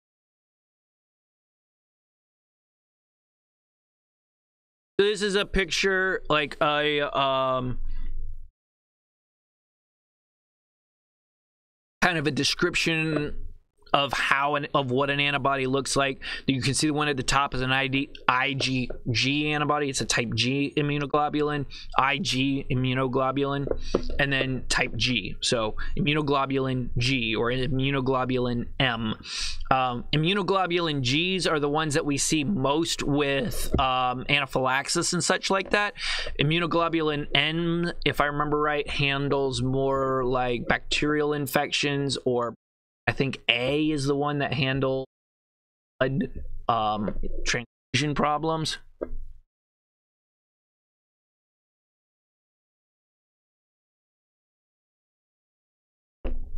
Um, but you can see how the antigen binds, how it has a very specific binding site. It's made special to bind to that one specific antigen. But that's why immuno- immunoglobulins for one um, bacteria or virus might work on another one because they had similar binding sites. This would be why, for example, uh, several hundred years ago, a random farmer who apparently was a lot smarter than most people thought discovered that there was a way to prevent infection and death from smallpox. He noticed and this is in 1748, he noticed that a person who had had cowpox cowpox is a slight very slightly different variation of the same in, uh, type of virus. A person who had cowpox never died of smallpox. So he took scrapings of the pus and the pustules, I should say, on a of cowpox on a cowpox victim and placed them on his kids. His kids became infected with cowpox. they quickly over, uh, recovered from it, no problem. They were then, because of good grief, it was England in 1748. Like, what did you think was going to happen? They got exposed to smallpox. Smallpox was everywhere. They got, they barely got sick at all, um, and um, had no issue. So he continued to do this experiment over and over again, and they realized, hey, if you're exposed to cowpox, you get a minor infection, no big deal prevents you from becoming infected with cowpox because the antigens were on both of those pox viruses were very similar. So the antibodies worked. And that introduced the concept of inoculation and immunization to let's expose you intentionally to a low level infection in order to protect you from a high level infection. And so uh, vaccines were invented. And actually, to this day, a similar style exposure method is used with a cow- with um, uh, smallpox vaccines. Let me show you this. Uh, oops, wrong wrong tab.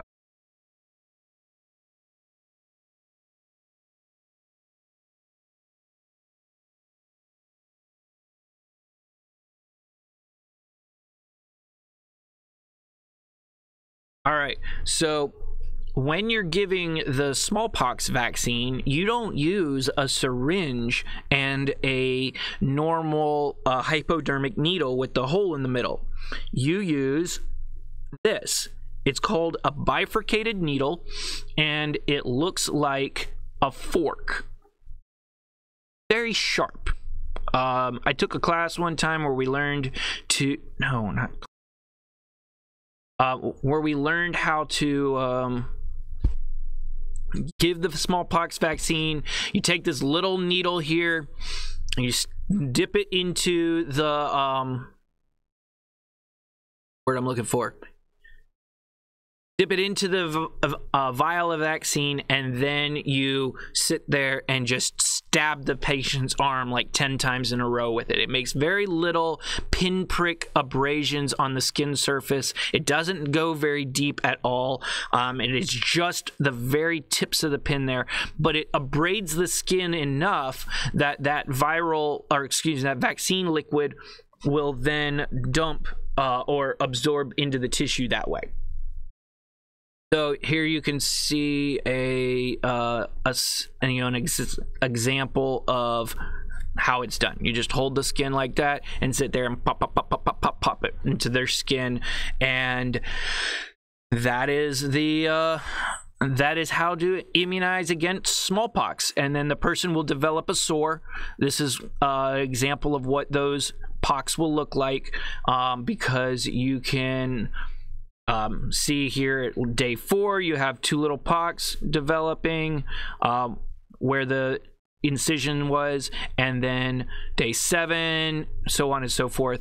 And if here's the a little bit scary aspect of the smallpox vaccine, it is an attenuated virus. It is a virus that has been essentially paralyzed, but if somebody touches this festering wound while you're typing, you know, during this time period, especially between day uh, four and day 14, you know, by the time you're getting out there to day 21, it's starting to dry up and no longer be a concern. But when it's growing there from 7 to 14, that is um, they could actually get live active smallpox. You have to protect that um, insertion site, that injection site during that um, typing process. The person the, that was vaccinated, they won't get it. But if anybody touches that and the virus moves from that to somebody else, they would have wild you, uh, smallpox. They would have full blown smallpox. Um, smallpox is whoops wrong tab. Um, Smallpox has been known or determined to only exist within the human population. Um, it is not able to be carried uh, by any animal that we know of. And for that reason, our vaccination methods have eradicated it in um, in the wild. The only known locations of smallpox are in um, laboratory facilities where the where strains have been kept um, in cryo, but smallpox I think the last case in the US was in the 70s and the last case worldwide was in the 90s. Um, so smallpox has been essentially um, eradicated for that purpose. The reason things like coronaviruses or maybe you've maybe you've heard of monkeypox recently. The reason monkeypox virus will never be eradicated like smallpox, it's a it's it's basically smallpox but a little less deadly. Um, it, it, well, not a little bit. It, it's less deadly. It's less virulent. It's less likely to spread, and it doesn't have near as high of likelihood of killing you uh, or making you severely sick like smallpox does. So a little safer. But the reason we'll never get rid of it is it's easily carried in primates. Primates are hosts. Therefore, we can't vaccinate all the primates in the um, Congo jungle. So you're never going to be able to get rid of it because it will always be carried by animals and as soon as those human animals come in contact with each other it'll it could be passed along so that's that's one of the issues with various uh, diseases. Similar with polio. Yeah, we were able to control polio because polio wasn't carried by other um, organisms, other um, mammals, more or reptiles or whatever. So it's kind of how that works. So it's very specific. So here you go. You can see the immunoglobulins. That's what we've been talking about. These are the antibodies. And so your cells are going to produce these to attack or to neutralize the invading organism. Or you could get an injection of these in order to protect you against invading organisms. Uh, not going to worry about this. Isotypic, allotypic, idiotypic. Not going to worry about it. Don't don't dig into that very much. Um, this is that whole thing that I was pointing out earlier, where we were talking about the um, agglutination or precipitation or uh, neutralization. So, um, opsonization is kind of like the um, the tagging them that I was talking about. They they bind to it, and then the bacteria co- or the macrophage comes along and says, "Yep, I'm going to eat that t- because it looks tasty." It's like taking um, dry toast and covering it with butter and cinnamon sugar, and now it looks tasty, and now you want to eat it. Um, could cause them to clump together, which could be like taking a bunch of Rice Krispies that are all around, laying in the bottom of a bowl, and probably a pain in the butt to have to eat, and then you just um, dump some um, melted marshmallows in it and mix it around and now it sticks together and so it's really easy for you to pick up and eat the marshmallow treat right? So that that's what the antigens are clumping the bacteria or not the bacteria but the um the antibody together not the antibody the antigen right? The antibodies clump the antigen together so that the bacteria the macrophages can eat it. And then i already mentioned the toxins. So those are the jobs of antibodies. Make it easier for things to eat them or uh, neutralize it so they can't harm anything.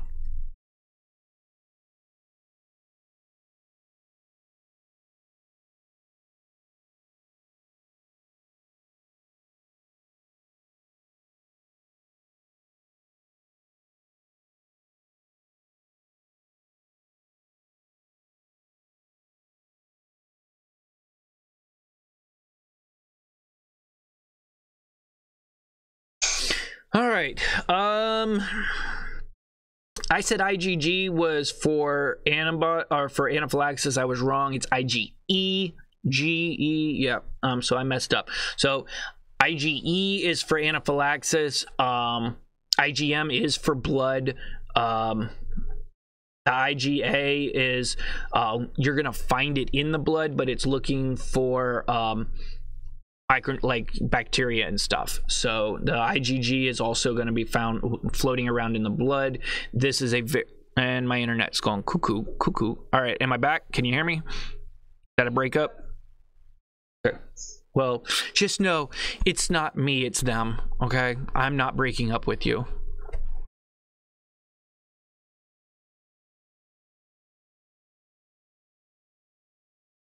There we go. Immunoglobulins. Questions on immunoglobulins and antibodies.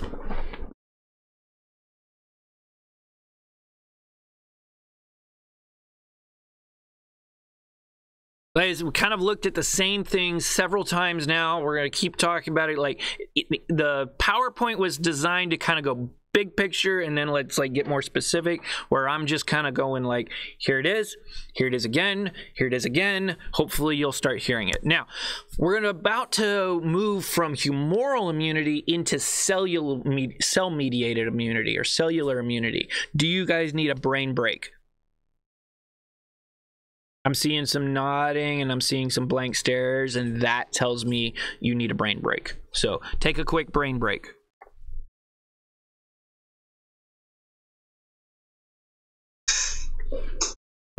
All right. So, um, moving on to the cell mediated immune response. All right. What cells did I say handle cell mediated responses?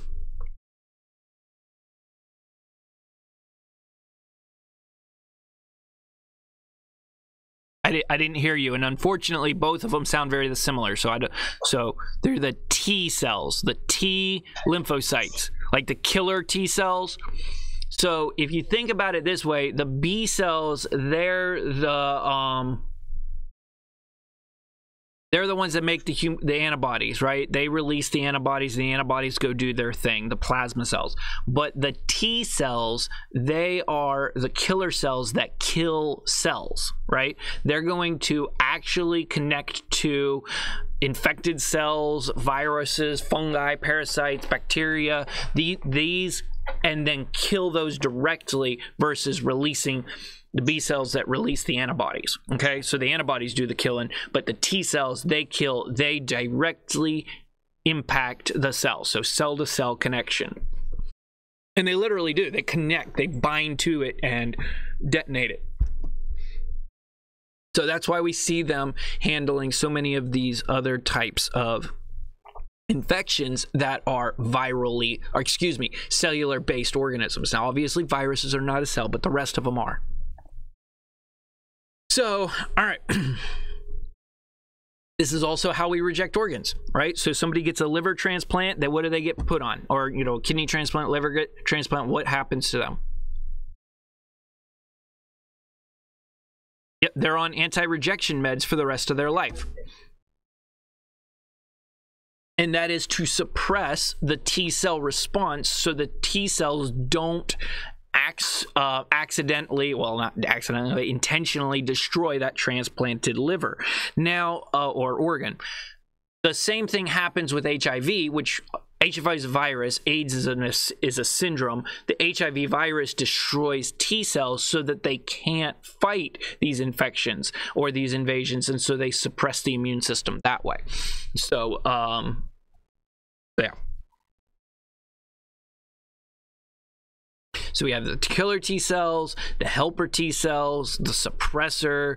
Uh, the suppressor T cells are kind of like um, the handlers of the T cells. If you think of the T cells as the attack dogs or the the, the hunter killers, the the ones that are going to go out there and do the destroying.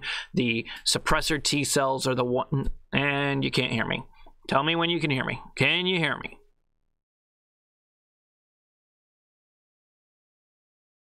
Ah, okay. All right. So when the the killer T cells go berserk and destroy things, the suppressor T cells, they're the ones that come in and say, "Okay, that's enough. Stop.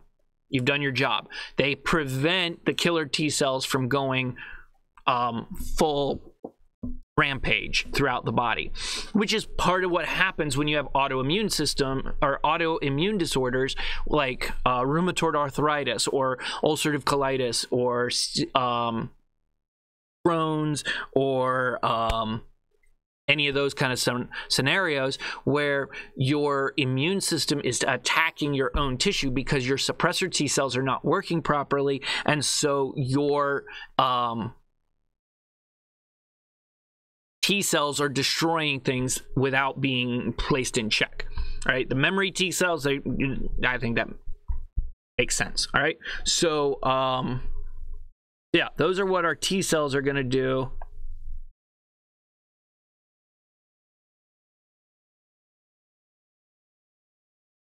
and there are all those different jobs. So um, now before I go further, let's watch and this and what we're going to do is this will change into the inflammatory response and we're going to move away from the immune into inflammatory. So what I want to do is show you a quick uh well yeah, it's like a 10 minute video by um on YouTube that kind of takes everything we just talked about with the immune system and animates it so that we can uh, see it put together. So stand by.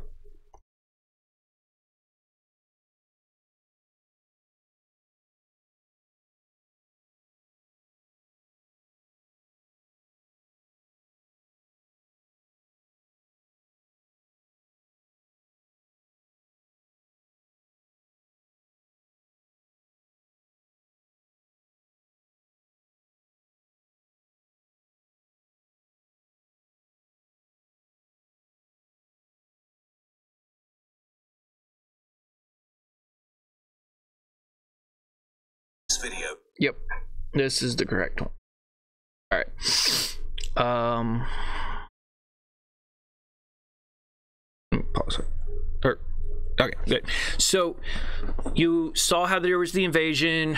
You saw how the uh, macrophages can uh, destroy things, but sometimes they're not good enough or uh, uh, enough based on the invasion, so they bring in additional help. You saw how the helper T cells help activate cells, and then in the dendritic cells took the information back to the um, helper T cells and typed other cells. So then you had your plasma cells and the antibodies. Then you had the helper B cells come in and give it more energy so that it doesn't wear out. But then once the um, suppressor cells come in and it says, you know what, the battle's over, the, B, the helper B cells stop helping, um, they stop pushing the. Um, the attack and then all of your um, plasma cells and your monocytes and macrophages they all like give up and the killer cell the the, the battle is over the um, the damage or um and so in order to stop burning up bodily uh, body resources it resets. So which type of immunity hand uses antibodies?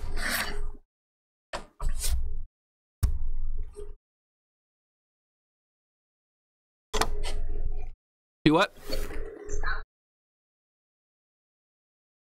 what do we call what do we call that immune process?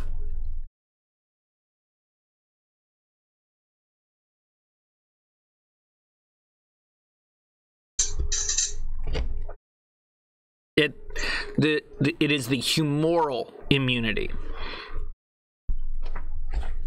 Antibodies use humoral are used in the humoral immunity response what are some of the things that a um, oh what are some of the things that antibodies do? All right, what are, what are some of those functions that we we discussed that antibodies do?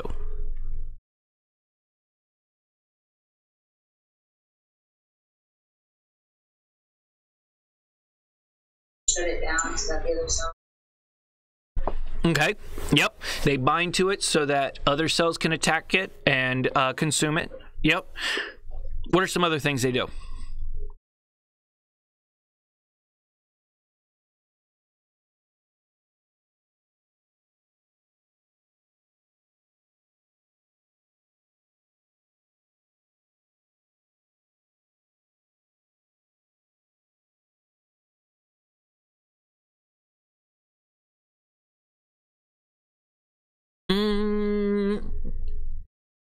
That's more your your memory B cells that have the antibodies attached or that have similar complexes attached to them, not so much the actual an, uh, antibodies themselves.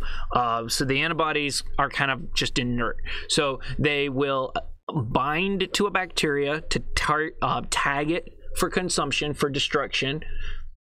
They will take small toxins and c- combine them together so that they're a larger substance that a bacteria can or that the uh, macrophages can destroy, or they will uh, trigger the bacterial wall to become porous and allow the cell to destroy itself.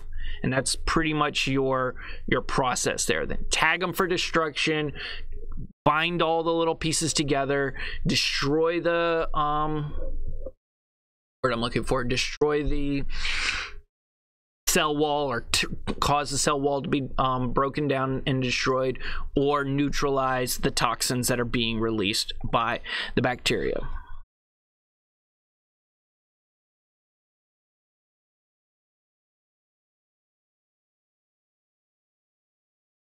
So the that is what humoral immunity and um, antibodies will do. Now, what does the cell mediated immunity do?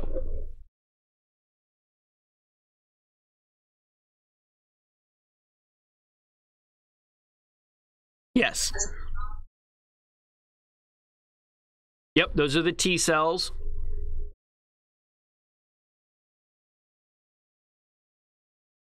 And what do T cells, what is their process? Like the killer T cells, what are they going to do?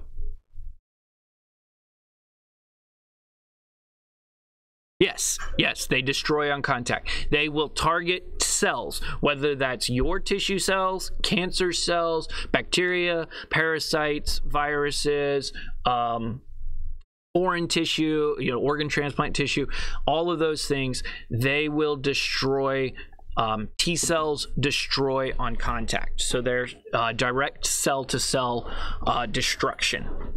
So. Moral immunity uses antibodies as the intermediate step, whereas cellular immunity is the cell itself destroying it. Um, and that's what's the difference between natural immunity and acquired immunity? Yes. Acquired, you have to be exposed to something. What is natural? Yeah.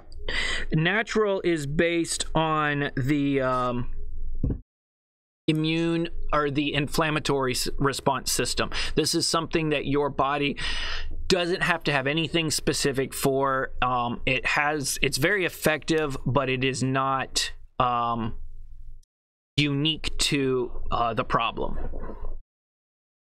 And so within your acquired immunity, what are the two types of acquired immunity that you can come up with?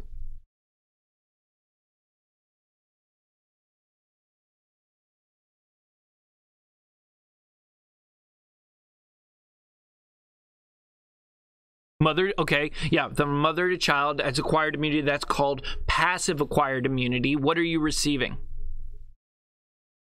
What is the child receiving from the mother? Antibodies, yes. So passive acquired immunity is whenever antibodies are being transferred into the body so that you don't have to create them. They're they're being given to you. The infant doesn't have the ability to create antibodies, so antibodies are transferred via the breast milk. And when you're going into an area that has known illnesses in indigenous there uh, or endemic there you don't want to have to get that illness and create a response. So you're given antibodies so that you're pr- protected against it.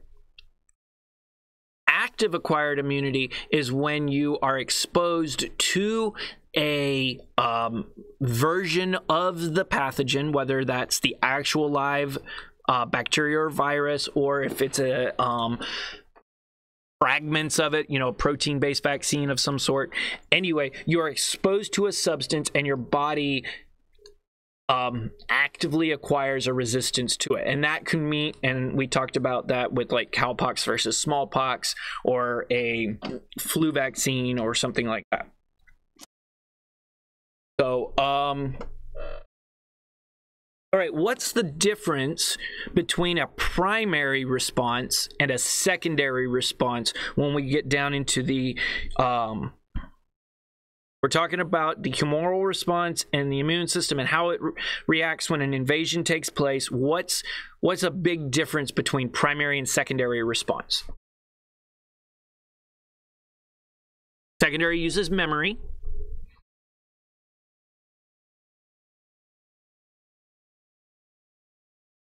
Yes. Yes. But as you, the patient, as your body, what is something you will notice different between the two responses?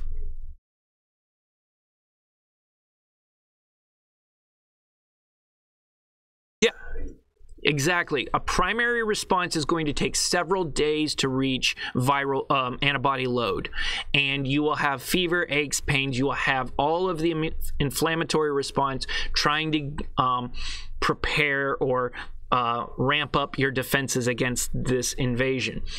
A secondary response, because it's using the memory cells, it doesn't need to use your lymph nodes. It doesn't need to create this massive immune process with an inflammatory response. You don't get fever, you don't get the aches and pains. You simply start releasing antibodies, and your body fights off the invasion and you don't even know it. So a primary response is slow and painful. A secondary response is quick and silent and effective. In a primary response, it could be three, four days to hit a uh, adequate or sufficient viral or um, antibody load. In a secondary response, you could be looking at eight hours, six to eight, 12 hours before you hit a um, effective uh, antibody load, and the antibody loads from the secondary response are through the roof compared to what you get from the primary response. Much more aggressive uh, attack in a secondary response. So those are your um, that is the basic differences, fundamental things you need to understand between um, the for the immune system between humoral and cellular immune system um, responses, natural versus acquired, uh, active acquired versus passive acquired, primary response and secondary response. Those are the kind of things that you want to know.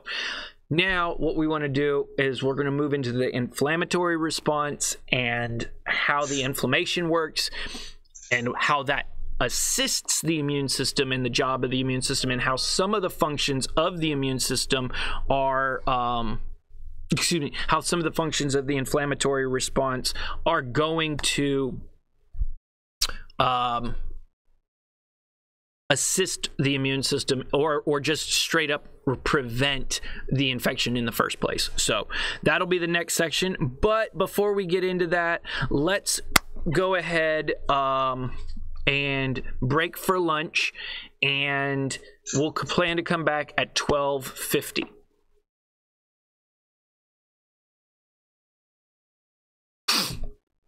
about the immune response um,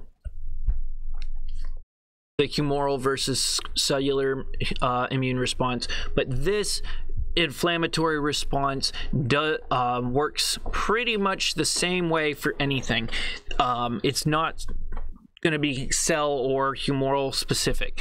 This is going to be and this doesn't actually just work for bacteria or fungus or virus. This is going to work for trauma of any type, basically any alteration of tissue function or injury to tissue function.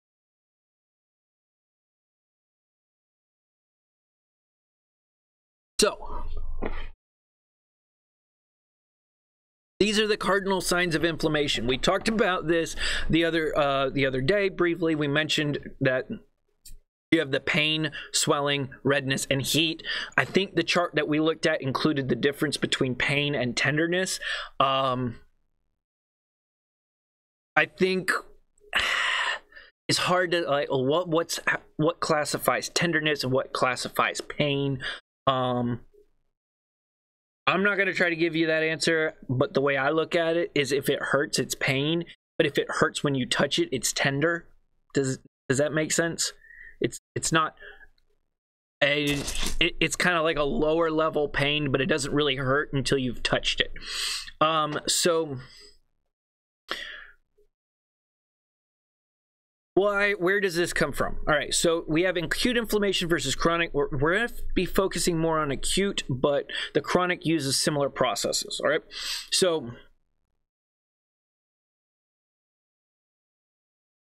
there are cells and part of the immune system that are involved in the inflammatory process but they're very generic. They're not specific to the infection all right? Uh, hyperemia what does that mean? What is that? Let's break that word down.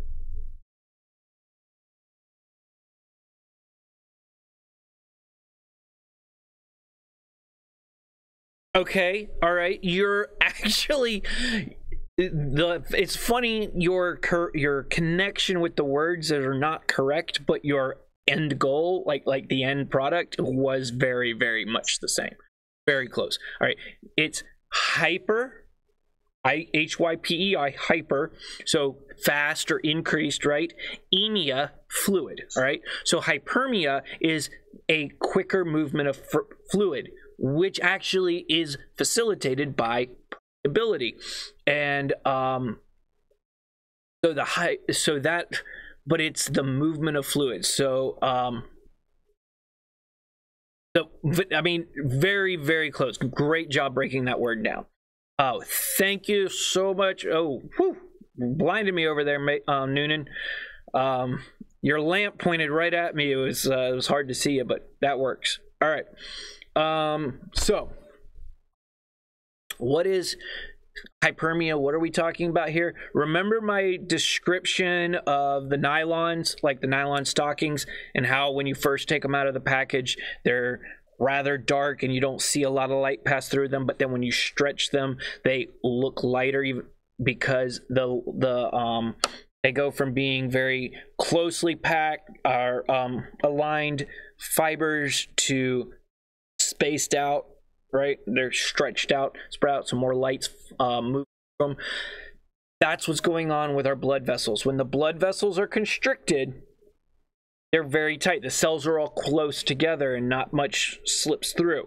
But when the cells or when the vessels start to stretch and are become overinflated, um, the cells are moving apart, and that allows more room for water and other immune cells to pass through them. That um, causes fluid to leak interstitial. We call that third spacing. We see this with our um, CHF patients who get pitting edema, but this is why we get swelling around an injury site, like a cut or a you know a bug bite or a um, bruise or something. It gets swollen because fluid has been released into that interstitial space. So there's more fluid in that tissue, making it tighter. All right. Now, um, what also happens is the um, distal capillaries at the far end of the capillary bed will start to constrict. The vessels are um, reducing the flow of blood out of that area. So this is in the venous side. And then that venous redu uh, flow reduction increases pressure. The blood flowing, it's slowing down.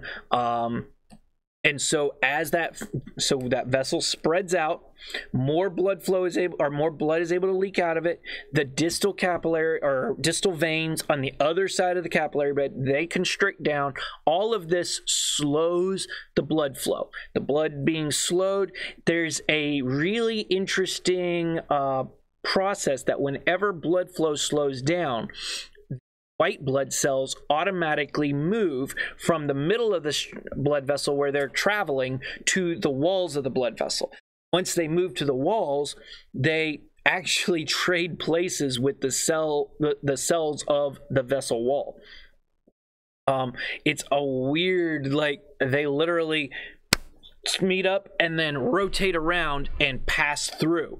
So I always kind of imagined it kind of like those videos you see of a um, octopus trying to squeeze off the boat to go back into the, the ocean and it like squeeze through, squeezes through this little tiny hole in the side of the boat and like jelly well I used to think that's what it was. Oh, they the white blood cells they just squeeze through a little hole, but no, no, they actually come up to the to the cell wall and then trade places with the cell wall and move out in that manner. But anyway, that's how the inflammatory response starts. So the cell expands, blood flow slows, the um, white blood cells move to the sides of the wall, and then they trade places with the blood cell, the wall cells, and enter the interstitial space to go find the trauma.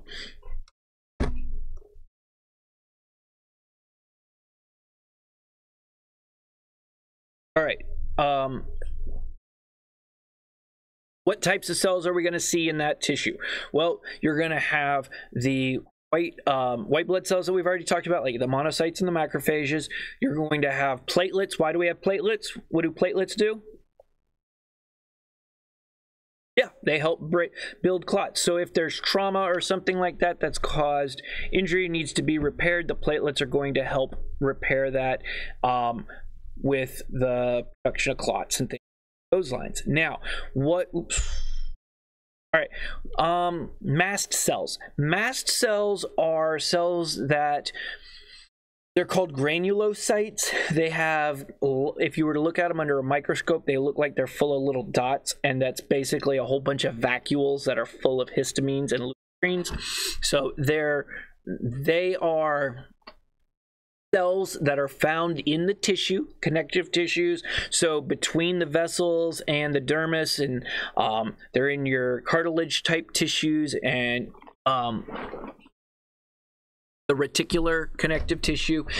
Anyway, they are basically spread out through the tissue of your whole body. And they're just kind of sitting there like sentries. When there's an alarm that goes off in their area, when there's trauma, when there's an invasion, they activate and release their histamines and that's what attracts that's what allows the swelling to happen. That's what starts the inflammatory process. The plasma cells we already talked about that. Plasma cell b lymphocytes what do they do? We mentioned those this morning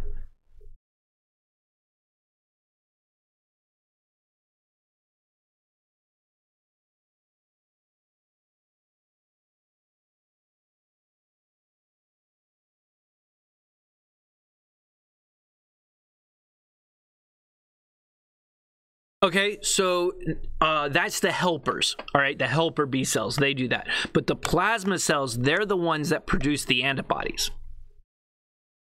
And if that's what you were saying the first time, you had gone digital, and so I didn't catch it. So, um, yeah, Plasma B cells, they are what produce antibodies. Helper B cells are what keep everybody fighting and give them the energy and keep things moving. So the plasma B cells, they're producing antibodies. They come in, they start releasing those antibodies to target the invasion. So, the chemical mediators, what's that talking about? Well, the big one there is histamine. There are other cytokines, which cyto means cell, kines mean messenger. So you have the histamines and cytokines, and then you have the leukotrienes, and the leukotrienes are a white blood cell, right? Leu- leukocytes, white blood cell messengers. So um, that's that's the process that you're dealing with there. Um, so these are some of what's going on with acute inflammation. Where did I lose my mind? All right, there we go. Um, all right, degranulate, remove their granules. That's what I'm talking about. Mast cells, they are full of histamine packages, um, histamine bombs. If you have ever seen the pictures of like the military C-130s or whatever when they dump or the videos of them when they dump all their flares at the same time. Like they're flying along and all of a sudden they just start blasting flares everywhere into this giant fireworks show behind them kind of think of that as your mast cells when they're, they're just patrolling. They're just sitting in that uh, tissue on lookout, and then all of a sudden they recognize that there's trauma, there's an invasion, there's inflammation is needed. They just start dumping histamines and cytokines into the tissue, into the bloodstream. They're just, and that's like the effect of sounding the alarm. Um. What's going to cause this? Well, physical injury. Somebody walks up to you and punches you in the face. You're going to get swelling here because you're going to have the inflammatory response. Prime physical injury, chemical agents. There are chemicals that are not necessarily going to cause trauma, but are going to um, stimulate the inflammatory response. Like, for example, if you had acid on your arm, it would burn. You would you would have direct um, acid burn, like direct physical trauma physical injury. Well, other chemical agents, they are going to stimulate a response, maybe like an a immune type response, an inflammation response, but they aren't actually damaging your tissue cells per se. They're just stimulating the response. And then, of course, anything immunologic. So you have an exposure to a um, a bacteria, virus, fungi, you know, something along those lines. Right. All right, so you also see that it's talking about leukotrienes and prostaglandins. What are prostaglandins? Do you know?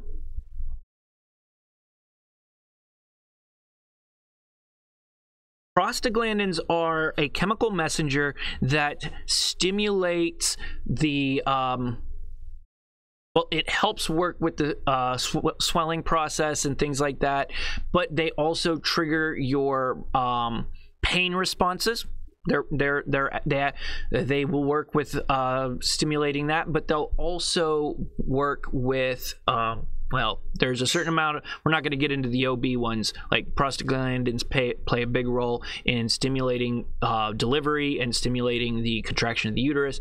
But most of the time, we see them indicating the need for additional resources in that area. They're like calling in for extra help. So when you take a medication like Tylenol, it's a prostaglandin inhibitor. It's going to prevent the prostaglandins from att- attracting additional fluid and pain sensation and such to that area. So you have a reduction in swelling, you have a reduction in the reaction. So prostaglandins will go to your brain and tell your brain, hey, there's an infection out here. We have a problem. We need a higher body temperature to fight this war so the brain will increase your temperature. Well, a prostaglandin inhibitor like Tylenol will prevent that prostaglandin from getting to your brain and keep your temperature lower, right? It removes that stimulation to the brain.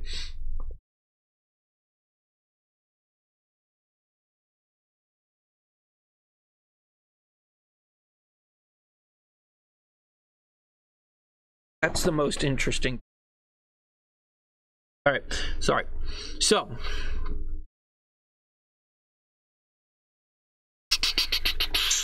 moving forward. Now, I'm not going to to bore you to death. You're already like, then what the heck have you been doing? I'm not going to bore you on this one, the plasma protein system. This is a very complex system. I do not understand it as well as I would like to. Um, but it's um, Suffice it to say, this is getting into the nitty gritty of how chemical mediators, chemical messengers attract white blood cells to the tissue and say, here's where the problem is. This is what you need to do. Start destroying. All right. So we have mast cells, basophils, which are white blood cells that float around in our blood. They do the same thing. But we have we have those granulocytes. They release these plasma protein uh, mediators. They chemical the chemical me messengers. They attract the white blood cells. The white blood cells do their job. We'll, we'll sum it up like that right? So there's the complement system, there's the coagulation system. The coagulation uh, cascades, there's two different ones. There's um, intrinsic and extrinsic. The only thing you need to know is that extrinsic is really fast and intrinsic is really slow. Extrinsic is when there's an external damage to the cell to the vessels. That prompts clotting, clotting um, cascades. Sometimes there's internal damage that isn't caused by direct like trauma, and that's a slower clotting process. We're gonna move past the kinins. All right. Um. So, are you following me so far? Inflammatory process is going to be started when trauma happens, chemical injury happens, or a bacterial pathogenic, not necessarily bacterial, but a pathogen uh, enters the tissue. Which cells sound the alarm?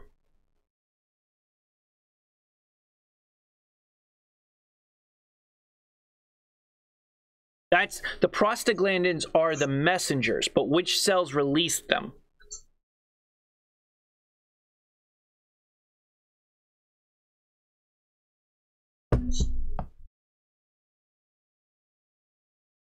Those would be your mast cells. The mast cells are the lookout towers. They stand guard in the tissues uh, of your body, waiting for trauma or something to happen.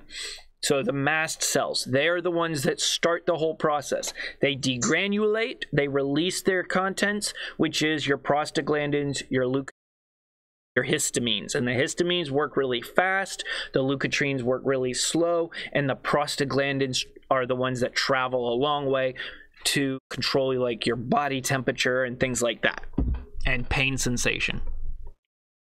So, um why why is this going to work? Because you need an immune response, you need or an inflammatory response, you need help in that part of your tissue. So, um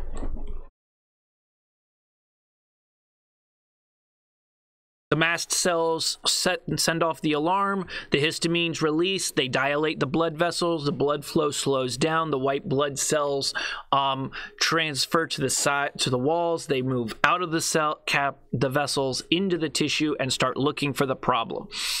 The other thing is the Lucas, um, the prostaglandins and the um, leukotrienes, not the histamines. The histamines do a pretty good job of just dilating things. They're not really attracting, but the prostaglandins and the histamines, they're going to call in the reinforcements. They're going to say, hey, we need more uh, white blood cells in this area. Send in help. And so they're um, they're like the smoke signal sending up the flare, like bring in the bring in the re, uh, reserves, and then all of the additional white blood cells will flock to that area. And as you can see, they will will um yeah and that explains the extravascular versus int-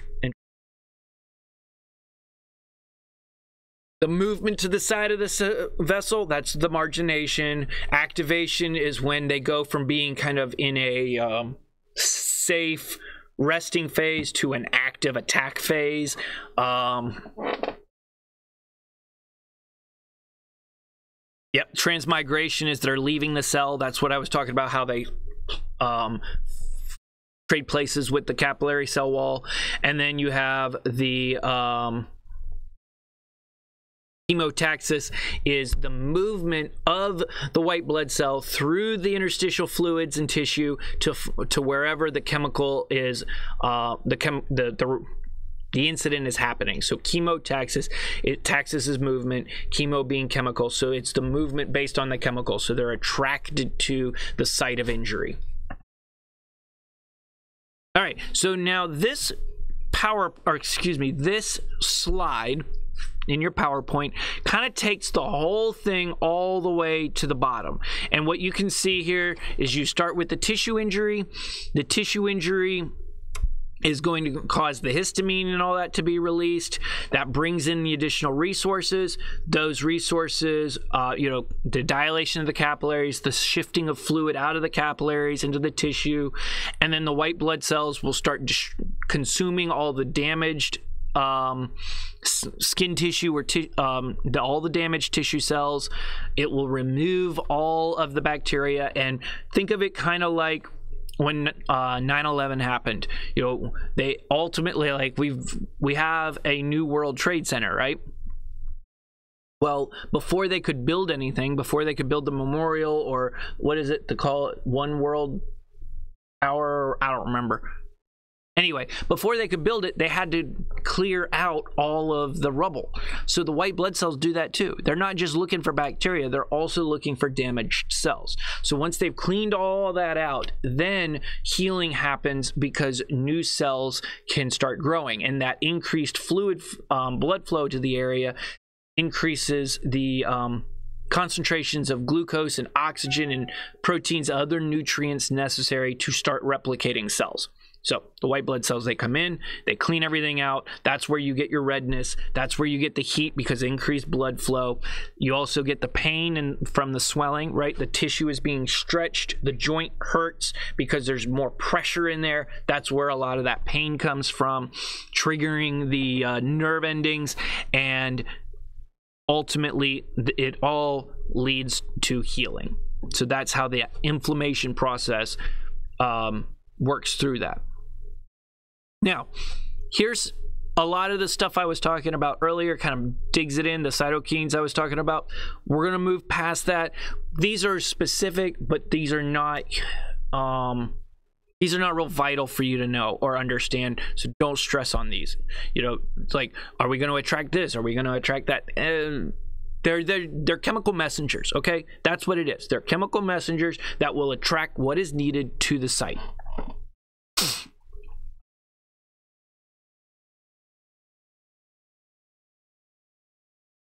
All right. So after this, we head into the section of in, um, tissue resolution and repair. So I know that was been a lot we've been talking about. The inflammatory process seems like this big, ugly animal, but we really don't need to be scared of it. It's not in, in its simple self mast cells release chemical messengers. The re- chemical messengers dilate the blood flow the blood vessels and attract white blood cells. Dilated vessels allow white blood cells to leave and enter the f- tissue to f- clear out the debris and remove the harmful pathogens. This allows tissue to start regrowing. The dilated blood vessels and increased blood flow are what cause the heat, the redness, and the swelling, and the swelling causes the pain because it puts pressure on the capillaries.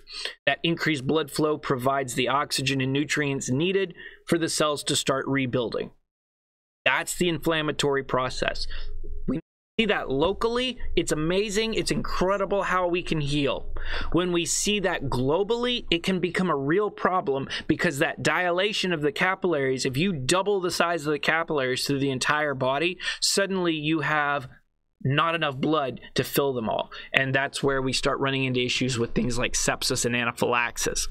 So, this next segment is going to talk about how tissue healing happens and then what disease processes can prevent or inhibit tissue healing.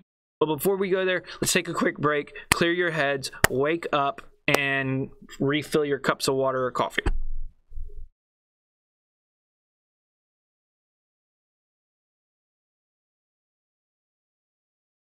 Here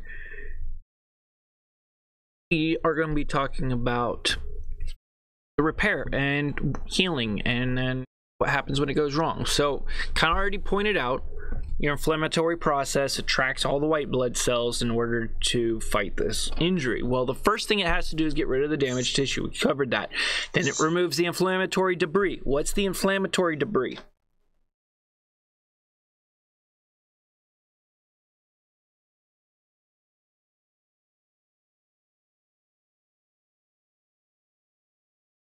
Yeah, pretty much. It's all of the the dead bacteria carcasses and the dead um, white blood cell carcasses. So you know, it's it's yeah, a whole bunch of cellular death debris. So then, once all of that has been cleared out, then they can start um, the tissue restoration. Now, the restoration of the tissue is the regeneration of the cells. So there's different layers you know each type of cell each type of layer within the tissue wherever the injury was is going to have to regrow. Re- healthy cells will have to replicate. There are stimulations or there are stimulants uh, like growth hormones and such that are targeting into that area to speed up that growth process so that area grows faster than the associate or surrounding tissue but it is still a slow um, growth process so anyway. All right, so um, these are some of the different types of cells um, that you're going to see. Um, the, labile cells or labile cells these are cells like in our skin bones and things like that. These are cells that are constantly being divided and replacing each other. You can see the stable cells they have to be replaced by regeneration. That means um, this is kind of like your blood cells in your marrow and things like that where they're um, they're going to take uh, they, they require a specific location to be creating them to regenerate those cells. Where and then you have your permanent cells, like a lot of our neurons and our nerve tissue cells. They do not replicate and they cannot be regenerated. So they're pretty much if it's damaged, it's done. Um, that's why strokes lead to per- often lead to permanent damage and death. Now that doesn't mean or it's not a neuro class. We'll deal with neuro later. But anyway, just because the cells were damaged doesn't mean that person lost that function. In the spinal cord, it normally does. But all right, so primary and secondary intention. All right, primary intention is when you have a clean wound that the and that uh, the sides of the wound are coming together. They're touching each other. That way, when the tissue starts to knit back together, the two sides of the damaged tissue are already in contact. And so a very small amount of uh, scar tissue and connective tissue is needed to hold it together. When you have secondary intention, this is where you have gaping wounds. Now, gaping wounds could be because of the type of injury it was, it could be because the injury is over a stretch zone where the skin is being pulled apart, or it could mean that there was inflammation, infection, or whatever that has swollen the area up, caused a, an eruption, a pus eruption, or something like that, and now you have a large open wound. In which case, a scab forms over the surface, and underneath that scab, you get this uh, new granular tissue that's called um, granulation and these cells start knitting together creating a very thin epithelial outer layer and then that holds in the um, moisture and everything underneath. This is kind of like, let's say you get like an avulsion on your hand or on your arm. I did this one time slipping on a metal roof and I cut a uh, section out of the pad of my hand here and took a chunk out of it. Well, I mean, it wasn't a big deal. Cleaned it up and it started to heal, but it had a nice scar for a while. But I noticed after um, the skin and the scab fell off, the skin was basically a continuation of the outer layer epithelial skin. But when I would touch it, I could feel the dent. The wound, the size of the wound was still under the skin because the outer layer had used secondary intention to close over the wound and then the inner layer tissues had to be recreated underneath to fill back in you know the to fill in the um the pad of my hand so that's um how secondary intention works. So we see that in the larger wounds. Secondary intention, as you would expect, takes incredibly longer than primary intention. You could cut your finger, stitch it up, and it'll be healed in a week to 10 days. No big deal secondary intention because you, the stitches aren't holding the wound together it's gaping open or if you don't touch uh, you don't keep it closed it could be weeks uh, trying to get that to heal. All right so what's going to cause our body not to heal properly oh we've already mentioned infection. If the bacteria if there's a heavy load of bacteria or other foreign bodies in there and our white blood cells are having to remove those healing doesn't happen. You know the regrowth of tissue won't happen until the um, infection is removed right? So all that has to finish first. Now another issue is inadequate blood supply. What what conditions do you know of that would result in an inadequate blood supply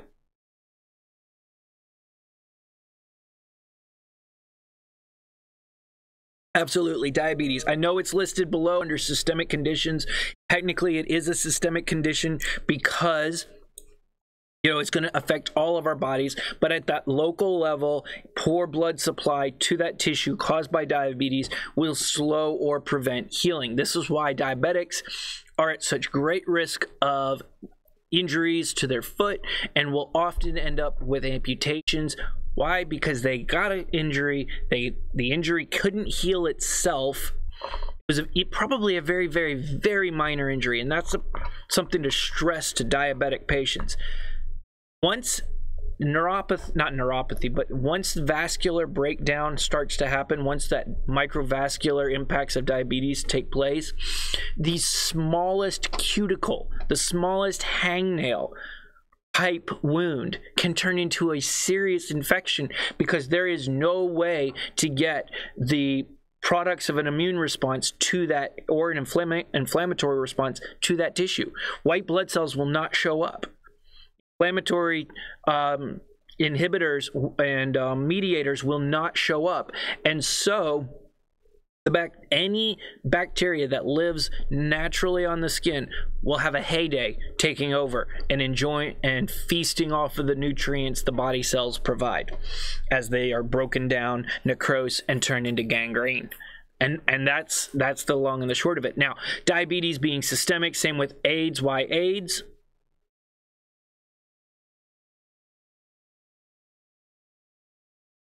Do what?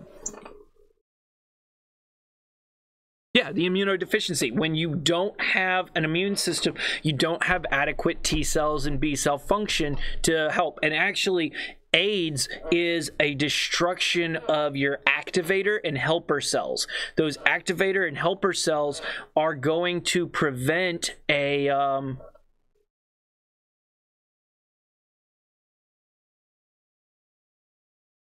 if the activator and helper cells are not present, then the, the killer T cells can't target their um, the bad tissues. The macrophages can't um, be stimulated when they're running out of energy because the helper cells aren't there. So that that's the issue that you're dealing with with AIDS is they don't have that reserve. They don't have that support.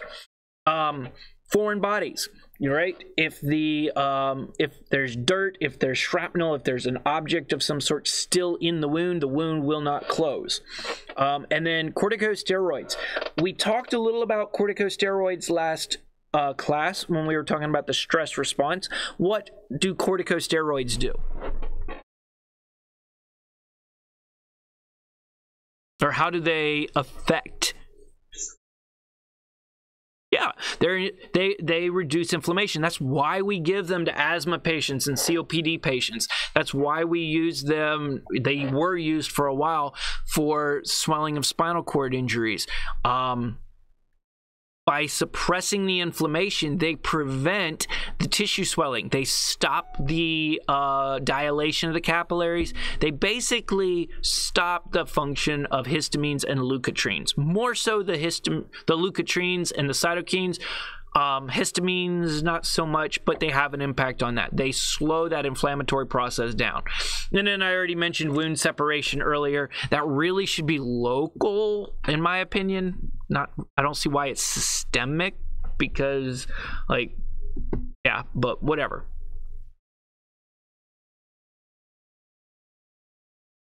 All right, so when are in uh, when if wound, when trauma is not healed, then you end up in this chronic um, phase. The chronic phase is where maybe you have bacteria or some form of pathogen of any nature in the wound that you can't get rid of. And so the wound actually grows around it, and your white blood cells fill a it's they form a tubercle tubercle around the uh, inflammation spot. This could mean bacteria, this could be a foreign object or something along those lines. It could even be a parasite. Basically, the body has determined that it cannot destroy that. Um, invader and so it forms this barrier around it using white blood cells now of course the white blood cells are going to degrade so it's constantly needing a resupply of these white blood cells in order to resist this um excuse me to resist whatever this persistent infection is. That's why a um, person and we it's called a tubercle but call it tuberculosis because that bacteria um uh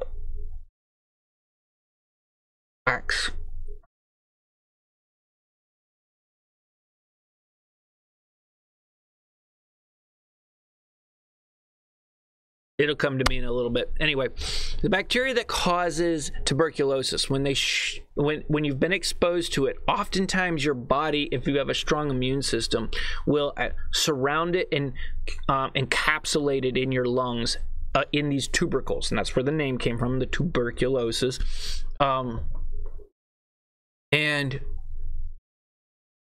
the um, then one day, when another infection, another inflammatory process, or something that causes immunosuppression diminishes your immune system's ability, then those tubercles stop getting the constant supply of white blood cells that they need, and they start to degrade and break down and the bacteria on the inside is released and then the patient will go into an active infection. This is why you could get a tb skin test test positive because all that's doing is seeing do you have antibodies against that um, bacterium?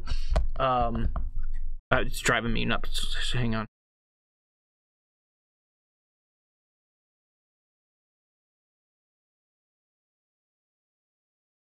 mycobacterium, the myco meaning wax, mycobacterium tuberculosis, the tubercle concept was named before the bacteria itself was identified.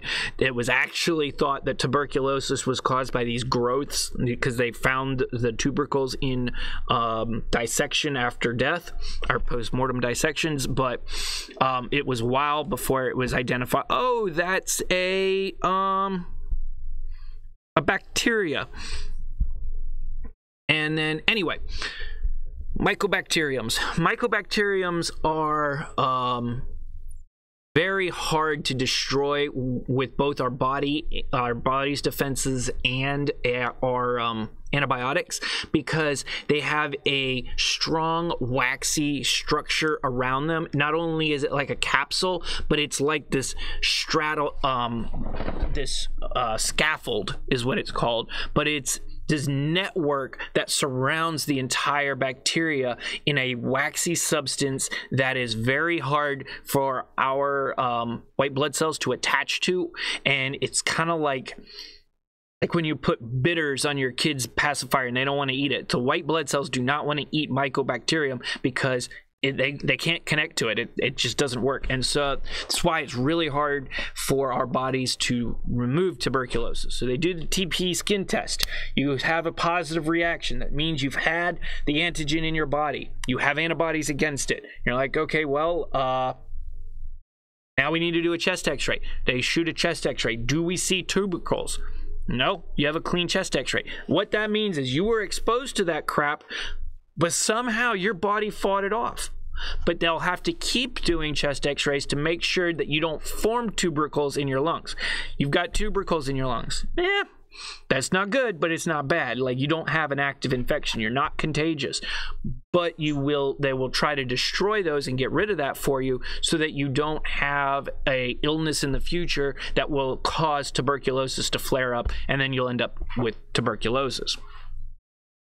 And that incident in the future could just be an extended period of chronic stress that uh, pushed your immune system to the limit, and now you can't um, resist the tubercles in your lungs, the bacterial infection in your lung. So anyway, so those are some of the things that will lead to our chronic inflammation and a short description of what tuberculosis is. What do you have to wear to protect yourself from tuberculosis? Say that again. Yep, yeah, a HEPA filter, a HEPA filter respirator. Yep, uh, or uh, which is also known as an N95. N95 filters will protect you from a um, tuberculosis uh, bacteria. They're very small um, bacteria, but a normal surgical mask, you know, a non-fitted surgical mask is not tight enough, or um, well, it's not tight enough to your sealed enough to your face, nor is it a tight enough weave to stop tuberculosis if somebody was to get it on, uh, if you were exposed to it. So, but the N95 is. So, um, and of course, if you've been exposed or treated a tuberculosis positive patient or suspected tuberculosis patient, do not reuse that N95. That N95 um, should be destroyed because you have tuberculosis bacteria on it. You got mycobacterium, and they're going to replicate, and you will get sick if um, they do. So, um, and if you're scratching your head about, well, if what he's saying is true, yeah, please don't ask. Please don't go there. Do not get me started. And if you don't know what I'm talking about, just enjoy ignorance. Ignorance is bliss. All right. So now we're going to move into the variances. What are abnormal immune responses? What are circumstances that are unusual? Hypersensitivity. This is when our body reacts overly aggressively or inappropriately to an immune response. The immune system is reacting the way as it should. There is a there is a trigger that should be there. We should react. But then instead of having a scaled appropriate level reaction, the reaction becomes out of control. So allergies is when a substance makes you react that perhaps I don't react to. Um, doesn't necessarily mean you're going to have an out of control reaction. It's just you've typed antibodies against something that not everybody has antibodies against. Um, everybody who gets stung by a wasp will have pain. That's going to be miserable. It won't be fun. But not everybody who gets stung by a wasp is going to have large amounts of swelling and hives and rashes breaking out. And then even fewer people will start having the systemic um, response, the anaphylactic response, where they have widespread um, vasodilation and issues like that. So those are levels of the allergic reaction. Now, autoimmunity, this is when your T cells have become typed against your body itself. So there's a very rigorous training process that T cells are supposed to go through in order to prevent them from attacking your body. If that gets altered, those T cells can be typed to your tissue and start destroying your tissue. This is what we see in MS. We see this in lupus. We see this in um, actually now it's believed that diabetes type 1 is a form of autoimmune. Well, not the only, but a form of uh, cause, a cause of diabetes type 1 is an auto, autoimmune attack of the pancreas. Um, so there's a number of different autoimmune disorders. Rheumatoid arthritis, that's another one. Now, isoimmunity, this is a um, This is when you like you've had an organ transplant or a blood transfusion and your body is attacking them. It's not autoimmunity because it's not your tissue, but because it's in your body and it's supposed to be there, we call it isoimmunity. It's still not ideal most of your allergy reactions are go- well not most your allergic reactions are going to be humorally mediated through antibodies IgE I, I mentioned that a few times for a reason. IgE is an allergic reaction, but your auto and isoimmunities, those are your cellular immunity where your T cells are doing the killing. Now, I'm not going to get too far into these individual hypersensitivity reactions, type 1 versus type 2. it's not it's not a huge deal okay? We know allergic reactions and when they turn into an anaphylaxis we're going to give epi as a sub-q and or intermuscular. We have a chapter on that. We have a whole chapter dealing with that. But type 1 those are the big ones. Those are those scary ones that move really fast. Um, this is where you're going to um, see your transfusions, like blood transfusions and things like that. This is where you have a autoimmune uh, issue.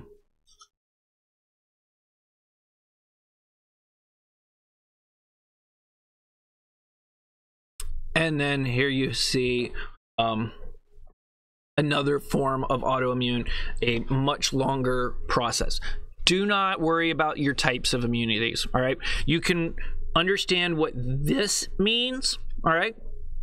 Uh, allergy, auto, and ISO, but do not worry about these type one, two, three, and 4.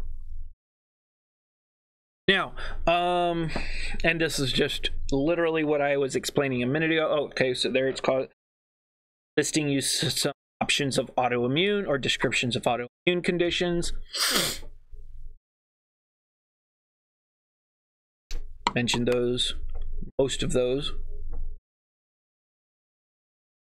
All right, so immunodeficiencies. I've already talked. We've talked mentioned AIDS, and we've talked about corticosteroids and such. Um, there are several other forms of immunodeficiencies. A really interesting is the IgA ones, where patients do not produce.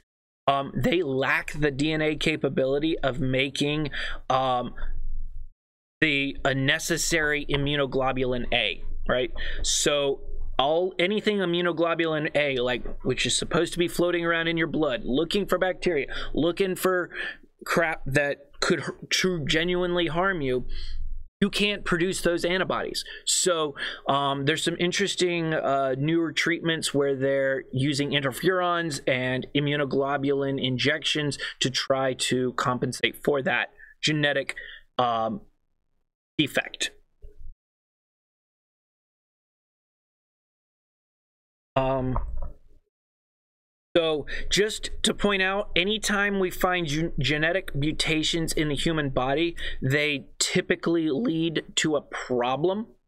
Uh, like a you can't produce this or your blood cells do that um, there's very very few genetic defects that i have um, read about or heard about that i would consider to be a benefit um, I have a friend who has a genetic defect. Well, his kid has the genetic defect that he has six functional fingers on each hand. Um, think they call it polydactyl. He had um, same with his feet. He had an extra toe on each foot, but they were um, they didn't have enough they didn't actually have bones going into him it was just the skin. So they had those removed when he was an infant but his uh, hands they have full phalanges fingernail connect to the wrist. I mean they literally look like another pinky. He has six fingers on each hand. So uh, buying gloves is going to be a real pain in the butt for him when he gets older. Um, but uh, it's pretty cool. So I, we don't give him high five we go high six or technically we call it high 11 for the combination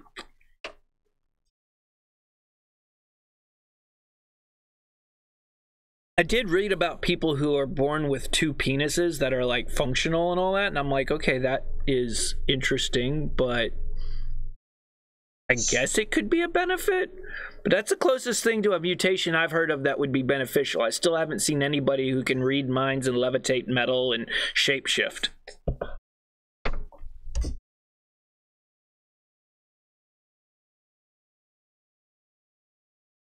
All right, so now we have acquired immunodeficiencies. Remember, these are genetic, these are problems that are managed but not corrected. It's very hard to correct even these. Um, but as you can see, things like stress, um, hypoperfusion, which is shock, um, damage to organs, decreased nutrition, these things can be uh, managed and improved, and therefore the auto or the acquired immunodeficiency can be reversed or prevented. Um, I mean, there's lots of different diseases that are completely the result of inadequate nutrition.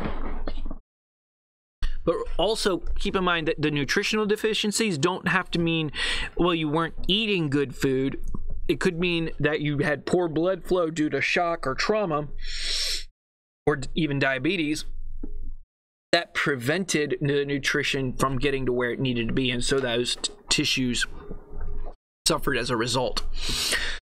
All right treatment induced immunodeficiencies. What's a uh, what's an example of that? Treatment induced iatrogenic treatment induced Absolutely. Treatment induced immunodeficiencies are, for example when you have a immuno or um, chemotherapy of some sort and its chemical actions on your body destroys your body's tissue as well as the the dangerous tissue or the the target tissue. And so immunodeficiencies. Idiosyncratic is when a reaction happens that was not expected. Um, it's very unique that it it's a it may have been a known side effect, but it's an extremely rare um, side effect that is unexplainable. A para, um, paradoxical reaction is idiosyncratic, meaning unexplainable, but it is not not all are. So paradoxical reactions are when you gave a patient nitroglycerin and instead of their blood pressure dropping, their blood pressure went up. Or when you gave a patient Ativan and instead of becoming sedated, they became uh, berserk. They went nuts. Those are paradoxical. Those are both idiosyncratic. Those are unusual conditions. So there are others out there where it's like we gave them medication to help their immune system and now their immune system gave up kind of a thing. Now, we talked about stress last week. Remember how constant physical or mental stress leads to increased production of corticosteroids, which suppress the immune system. Hence, you have immunosuppression. And we've mentioned AIDS multiple times. All right. Um, how do we treat them? Well, here's your examples. Uh, why would bone marrow transplant be a treatment for an immune deficiency? Yeah, the, the bone marrow is where the blood cells are formed. So if you could do a bone marrow transplant and start forming blood cells again, or um, yeah, white blood cells and things like that again, you've treated that immunodeficiency. Um, transfusions of immunoglobulins, transfusions of white blood cells, um, IVM um, inter- uh, gamma globulins. It's basically injections of the immuno uh, the uh, antibodies. All right. Now, disease processes as a whole. Okay, so we're moving from our discussion of how inflammation, healing, and, and the immune system works into what are disease processes in the body.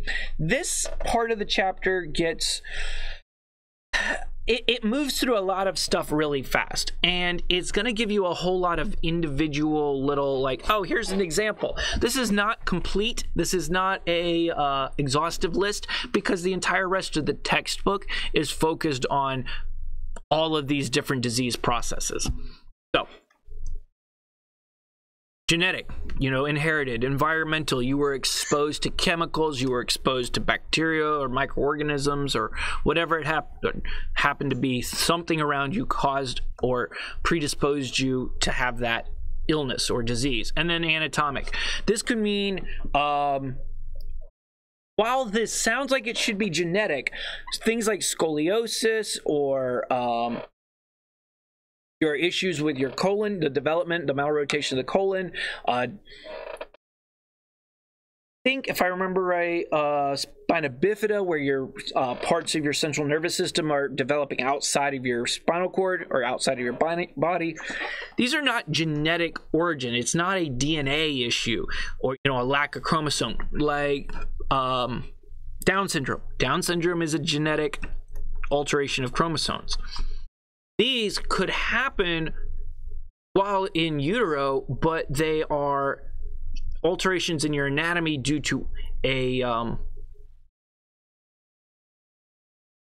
modified or interrupted growth and development process in while in the womb. So it's possible this could have been caused by um, chemicals that your mother was exposed to. It could be a lack of oxygen or a lack of nutrients. These are things that just resulted in an anatomical change. So if a patient has uh, aortic stenosis, which is a tightening, narrowing, and hardening of the aorta, they're going to be predisposed to any disease caused by a lack of oxygen and nutrients to the tissue because they can't pump blood enough. They can't get enough oxygen delivered to the uh, malrotation of the colon.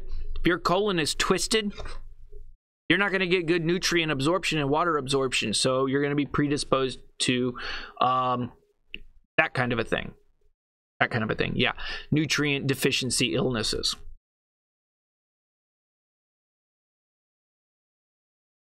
MS is immunologic. This is an autoimmune issue where and there's we've mentioned tons of those. Now we can avoid some of these stress, these triggers. You know, maybe try to avoid stress and we'll have get good nutrition, get um, you know, limit the alcohol consumption, uh, avoid smoking. Um, I won't say stop alcohol consumption because I don't want to, but I don't like smoking, so I'll say stop smoking. You know, because that's my bias, but you know, probably wrong. All right. Um and then you have age, right? A infant is probably not going to be struggling with um, a ruptured ovarian cyst, but they might have immune issues.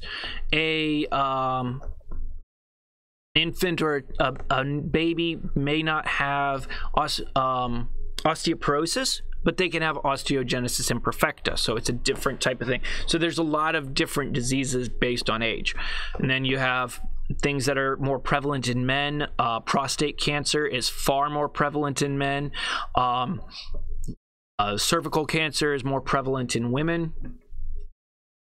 Unless you live in California, then they seem to, then, then you know, whatever. All right, causal. It looks like casual, but it's causal risk versus non-causal risk. Um, this meaning causal is this will cause that.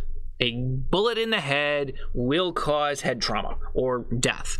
It, we know that Mycobacterium tuberculosis causes the infection tuberculosis and isolated. Uh, they use the Koch postulates um, to say that every person, every subject with this disease had this organism, and it was cultured out of that organism or it was cultured out of that subject and anything exposed to that organism acquired the same disease and that's basically the Koch postulates that in order to say that there's a causal factor, everyone who had X also had Y. And we were able to take Y from them, culture it, and expose it to and expose other groups, and those other groups acquired the same disease. They acquired X. And that's how you would say that X is caused by Y. Non causal risk factors are we can't say that this action, chemical, habit, whatever, causes this disease. But we see that a lot of the people with that disease have that in their history. So, you know, for example, consumption of alcohol is associated with um, drunk driving. Does that mean you will be you will dr- uh, drink and drive if you've consumed alcohol? No. There are people who drink who don't drink and drive. But you're, you're not going to have a drunk driver who didn't drink. There is one guy in England. There's one guy I heard about. Now, that's a different story. Technically, he was still drunk. Y'all know what I'm talking about?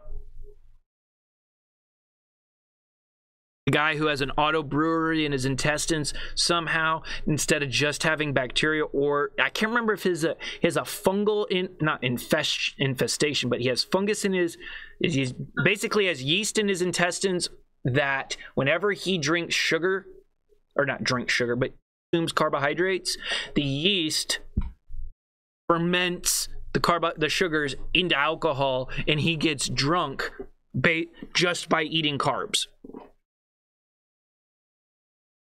Oh, he's like, I swear, officer, I didn't drink anything. And everybody's like, no, he never drinks. He doesn't drink, but yet he's drunk. It was interesting. But anyway, so that's the example of a causal risk versus non causal.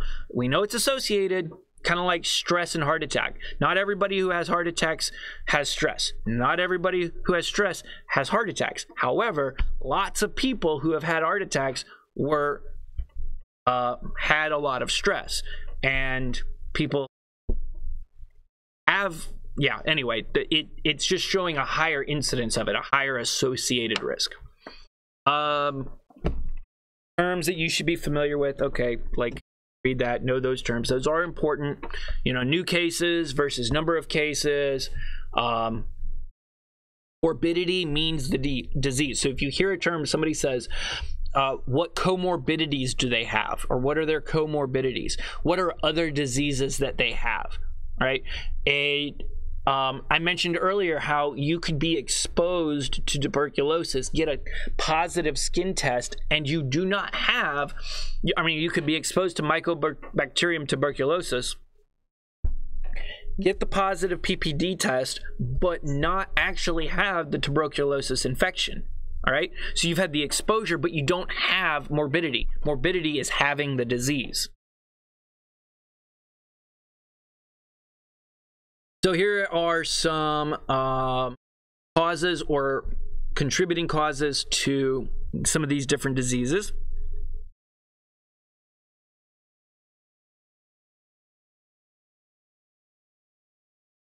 Do you know the most, you know what virus is the most common upper respiratory infection head cold? You know, we call it like the seasonal cold or, you know, not hay fever, but um, yeah, just a cold the most common cause of the cold are coronaviruses. There's like eight eight different coronaviruses that are known um, to cause uh, common cold-like symptoms, head colds, congestion, stuff like that. And then you start getting into the SARS uh, and the others, but All right. Familial tendencies versus genetic factors, right? So you have your genetic diseases like um, sickle cell anemia. Sickle cell anemia is directly related to specific uh, genes, right? And we can test mom and dad and find out do they have the genes. Now, both of the parents have to have it in order for the child to have the dominant trait, the actual disease. If one parent has the recessive gene, then they um, the child will likely have well could or could not have the recessive gene but they will not uh, they will not have sickle cell. They have both parents have to get it. So that's autosomal recessive. There's autosomal dominant which means if one of your parents has it there's like a really good chance you'll get it. Recessive means they both have to have it or you won't get it. Um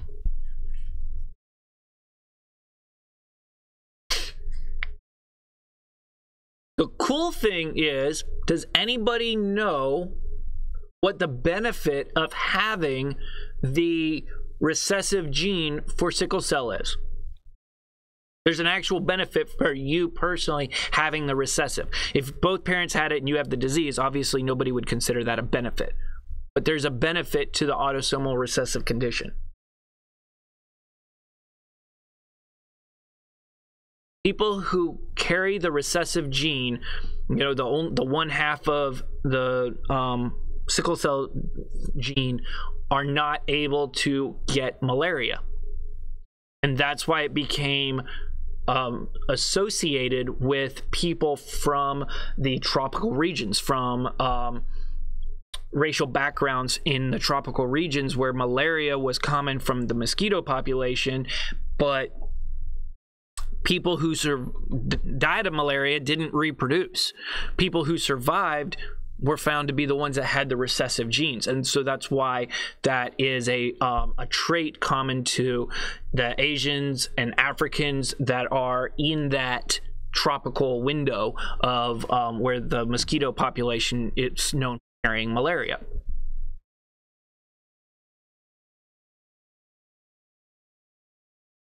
You'll if you read about uh, sickle cell it'll say like it's predominant in um, african and asian continents or on the african and asian continent and in uh, those pe- people who are that descendants or from italy italian descendants. Anybody know why suddenly italian as well as the asian and african continents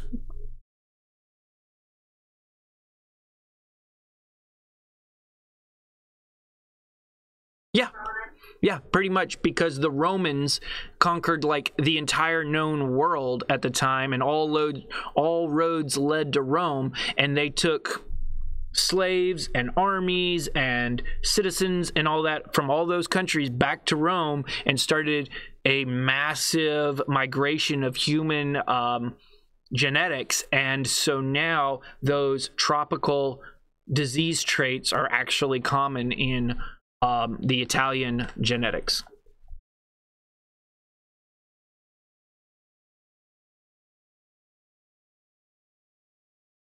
All right, so uh, yeah, we've already talked about allergies, asthma, and immune disorders, right? Hyperactive versus hypoactive. Immune, uh, yeah, never mind. We're moving on. I think we're good on this. Hey, look, this is that same thing that we saw earlier where the allergen appears in the first time you're exposed to it. The lymphocyte turns into a plasma cell. Lots of antibodies are produced. They fight off the um, the allergen. The allergen is removed, but they remain on the mast and basophil cells until the next time the allergen shows up, and then the cells immediately recognize it and instantly start um, releasing histamines and attacking that allergen and absorbing that allergen and fight um, mounting the assault. So where you can see on the top part there, you can see the primary response, and then the bottom one is the secondary response. The difference here is this is specific to histamine related and IgE, excuse me, IgE responses, those are very rapid. And that's why a patient with um, anaphylaxis could go from everything's okay, exposed to everything's not okay very quickly um, in that secondary response. Anaphylaxis being that second response, but a massive release of histamine. Now, cancer. What is cancer? Well, remember earlier when I was talking about how a cell is con well is regularly replicating. Every cell, well, most cells are called labile cells.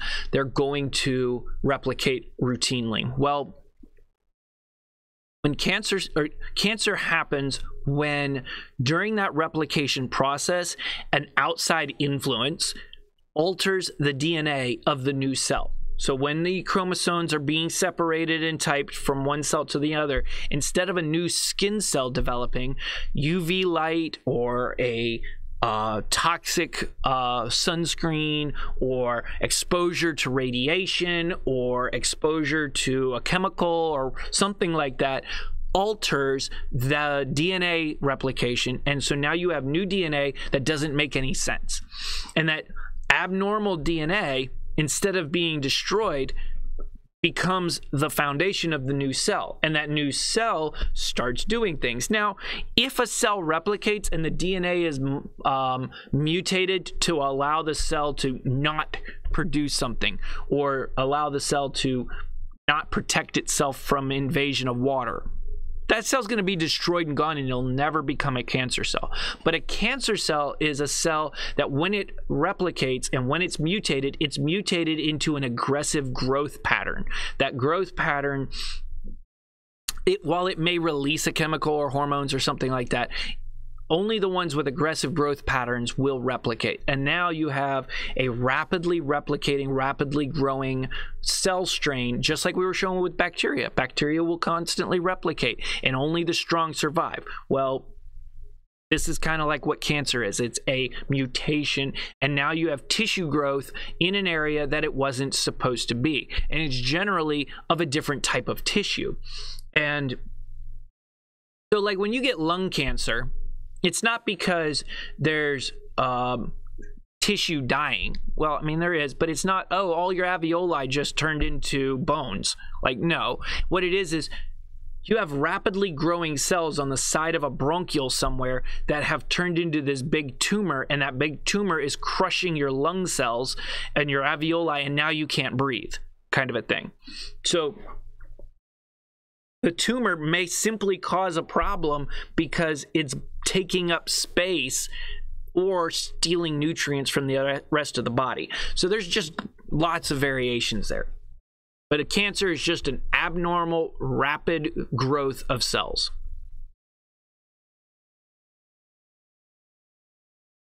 Different types of cancers. You have your endocrine issues. We've talked about diabetes before. I mentioned how um, type 1 diabetes is often autoimmune, but there is a family um, trait or family trend within uh, diabetes. If your parents had hypertension, if your parents had had diabetes or heart disease, it puts you at a significantly increased risk, right? They tend to show up in families. Hematologic, blah blah blah. All right, so here's another example of a hematologic condition with where you're not able to absorb iron properly, and so it causes you to have anemia, low iron levels, low hemoglobin levels.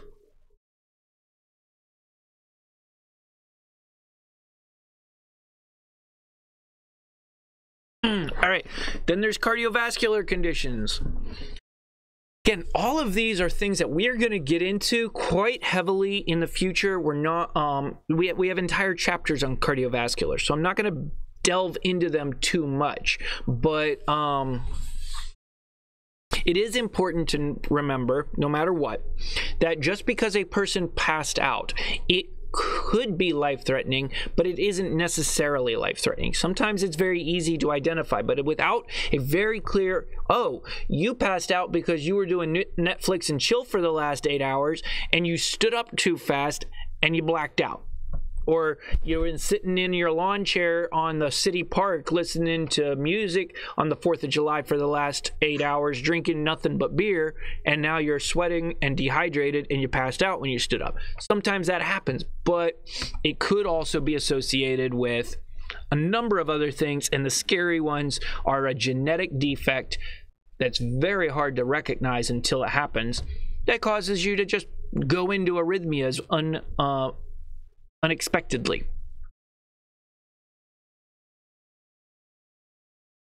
This is showing some pediatric uh, congenital heart defects where like, maybe valves into the aorta or something like that aren't working properly, or the valves into the um, from the atria into the uh, ventricles, and these have to be surgically repaired.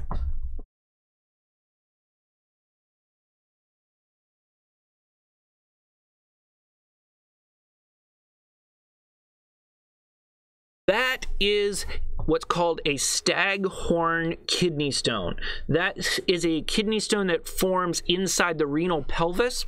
Let me pull up a picture of the renal pelvis real quick so that you can see what I'm talking about.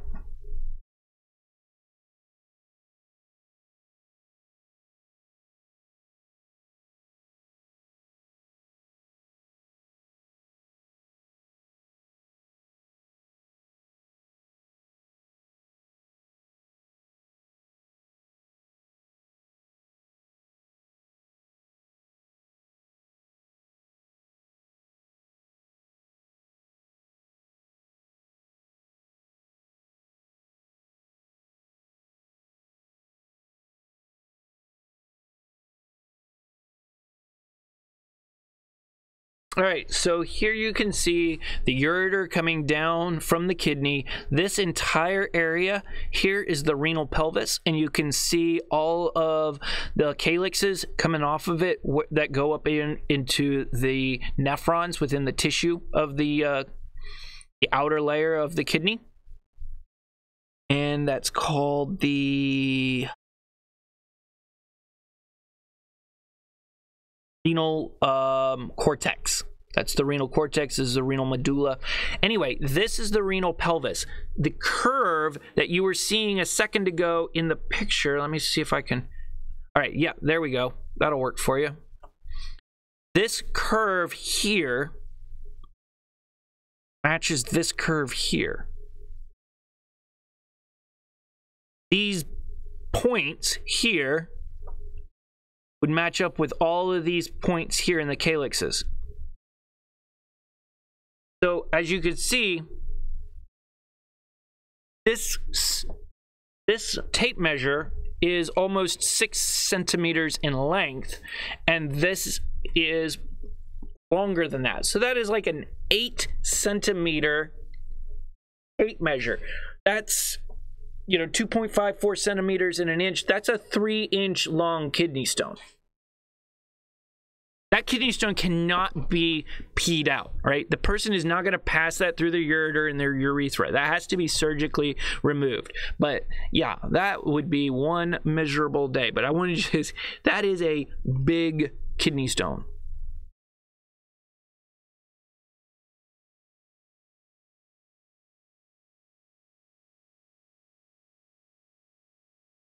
All right, so um, GI disorders, lack of enzymes for digesting various proteins, or uh, lactase is specific. Hydrate, not a protein, but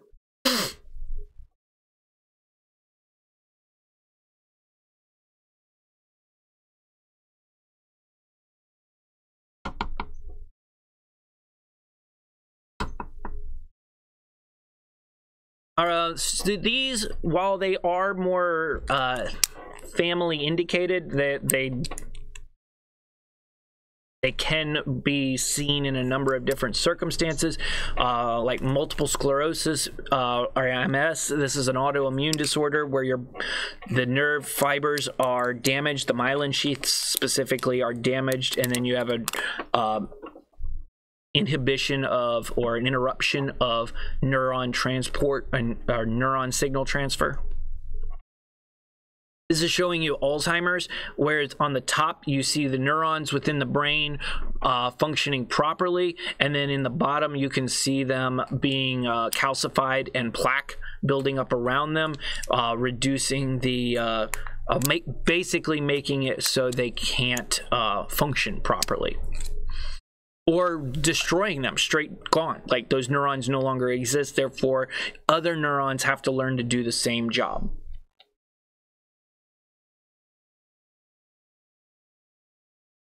Now, there is a huge familial connection with psychiatric disorders. Uh, for a long time, they thought it was um, because of nurture. You know, if your patients, not your patients, if your parents were dealing with things like bipolar, depression, or schizophrenia, their influence on your life would cause you to um, develop the same traits, kind of as an exposure thing. However, twin studies that have done that were done through the latter half of the um, 1900s, you know, 50, 60, 70, 80, 90, and even later twin studies were show were done on sets of biologic twins where, that were put up for adoption, or maybe one of them was put up for adoption, where the um, and they even did it on some where both were put up for adoption and were adopted by different families. So you have scenarios in which one of the twins is growing up with the biological parents, while others are grow- the other is growing up with adoptive family. And what they found was even though the adoptive child did not have exposure to the biological parents, they were showing an increased uh, tendency towards the same conditions that the biological parents have. Like their risk uh, or their likelihood of developing the psychological diseases or psychiatric diseases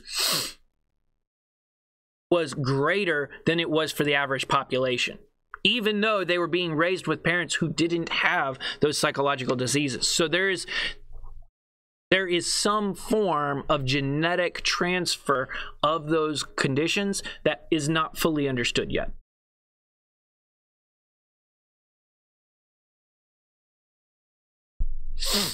All right. And then that gets into the stress and disease, and we discussed stress and disease the other day. So we've already gone over that. We have hammered a huge amount of material. Um, this is not easy material. This is stuff you're going to need to go over and over again. Um, you need to watch my videos. Um, go, okay, like I don't get this part. Fine. Go find a, another YouTube video. Look up Crash Course. Look up Khan Academy. Um, just Google the question, the, the topic. You know, look up autosomal uh, autosomal recessive disorders see what you can find where he explains why two traits coming together or only one trait, that kind of a thing. Kind of deep dive on it. The best way to prepare for an exam is by understanding the material beyond what is necessary for the exam. That might sound overwhelming. That you're probably like, "What the crap, you idiot? How do I have time for that? I can't understand what I have to know. How am I supposed to understand more?" Well, actually I've always found that when I take it a step further, I understand where it's going, the bigger picture of what's going on, and then I get it. Like the whole concept makes sense. So when I hand I'm handed the exam, it's not that I'm spitting off the answer to A or to number 2 is A because I've seen the question before, but I understand the process it's asking, and so it makes sense. So that's how I would recommend prepping for this exam. There are some practice quizzes. Do not overuse them. There's a lot of assignments. Please do them. I'm telling you, those assignments won't do you a bit of good in prepping for the exam if you don't do them until after the exam, if you them late. They're in designed to put your nose in that book. We want you studying, we want you learning. You got a question? You got my email. You're confused? Reach out, right? You want to make sure you got it right. Reach out. No big deal. Um, next Wednesday, so basically we have two weeks until the exam. Next Wednesday is a review day. In preparation for the review day, I would strongly encourage you to have as much of your homework done as you can and have done some practice quizzes so that you can see what you're up against. There will be, internet's gone cuckoo again. There will be a quiz next week. It will be a large quiz. It will cover the entirety of chapter 9. There might be some stuff from chapter 7 in there or 8 because this is a, a cumulative quiz, right? The stuff on your ex- not quiz, unit. The stuff on the unit exam could be from any of those chapters. So anything on any of the chapters we've done so far, there will be a big quiz on next week. This is not the exam. This does not count as an exam grade. Do not worry about that. It is a quiz grade. You've got a lot of other assignments that are also quiz grades. So if you don't do great on it, it's not the end of the world. But this will be a really great metric for where you are in preparation for the exam. Once the quiz is over, the review is going to be heavily focusing well the, the review will help focus the rest of the day looking at what are we missing what are we struggling on and then the rest of the day will be a uh, pattern or a process of answering questions going over the hard stuff taking um, different views, working on uh, breakout projects, how different things work, and stuff like that. And that that's how the remainder of next Wednesday will go.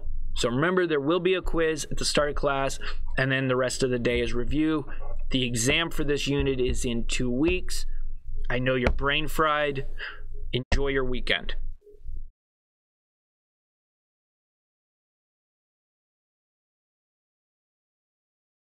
You too.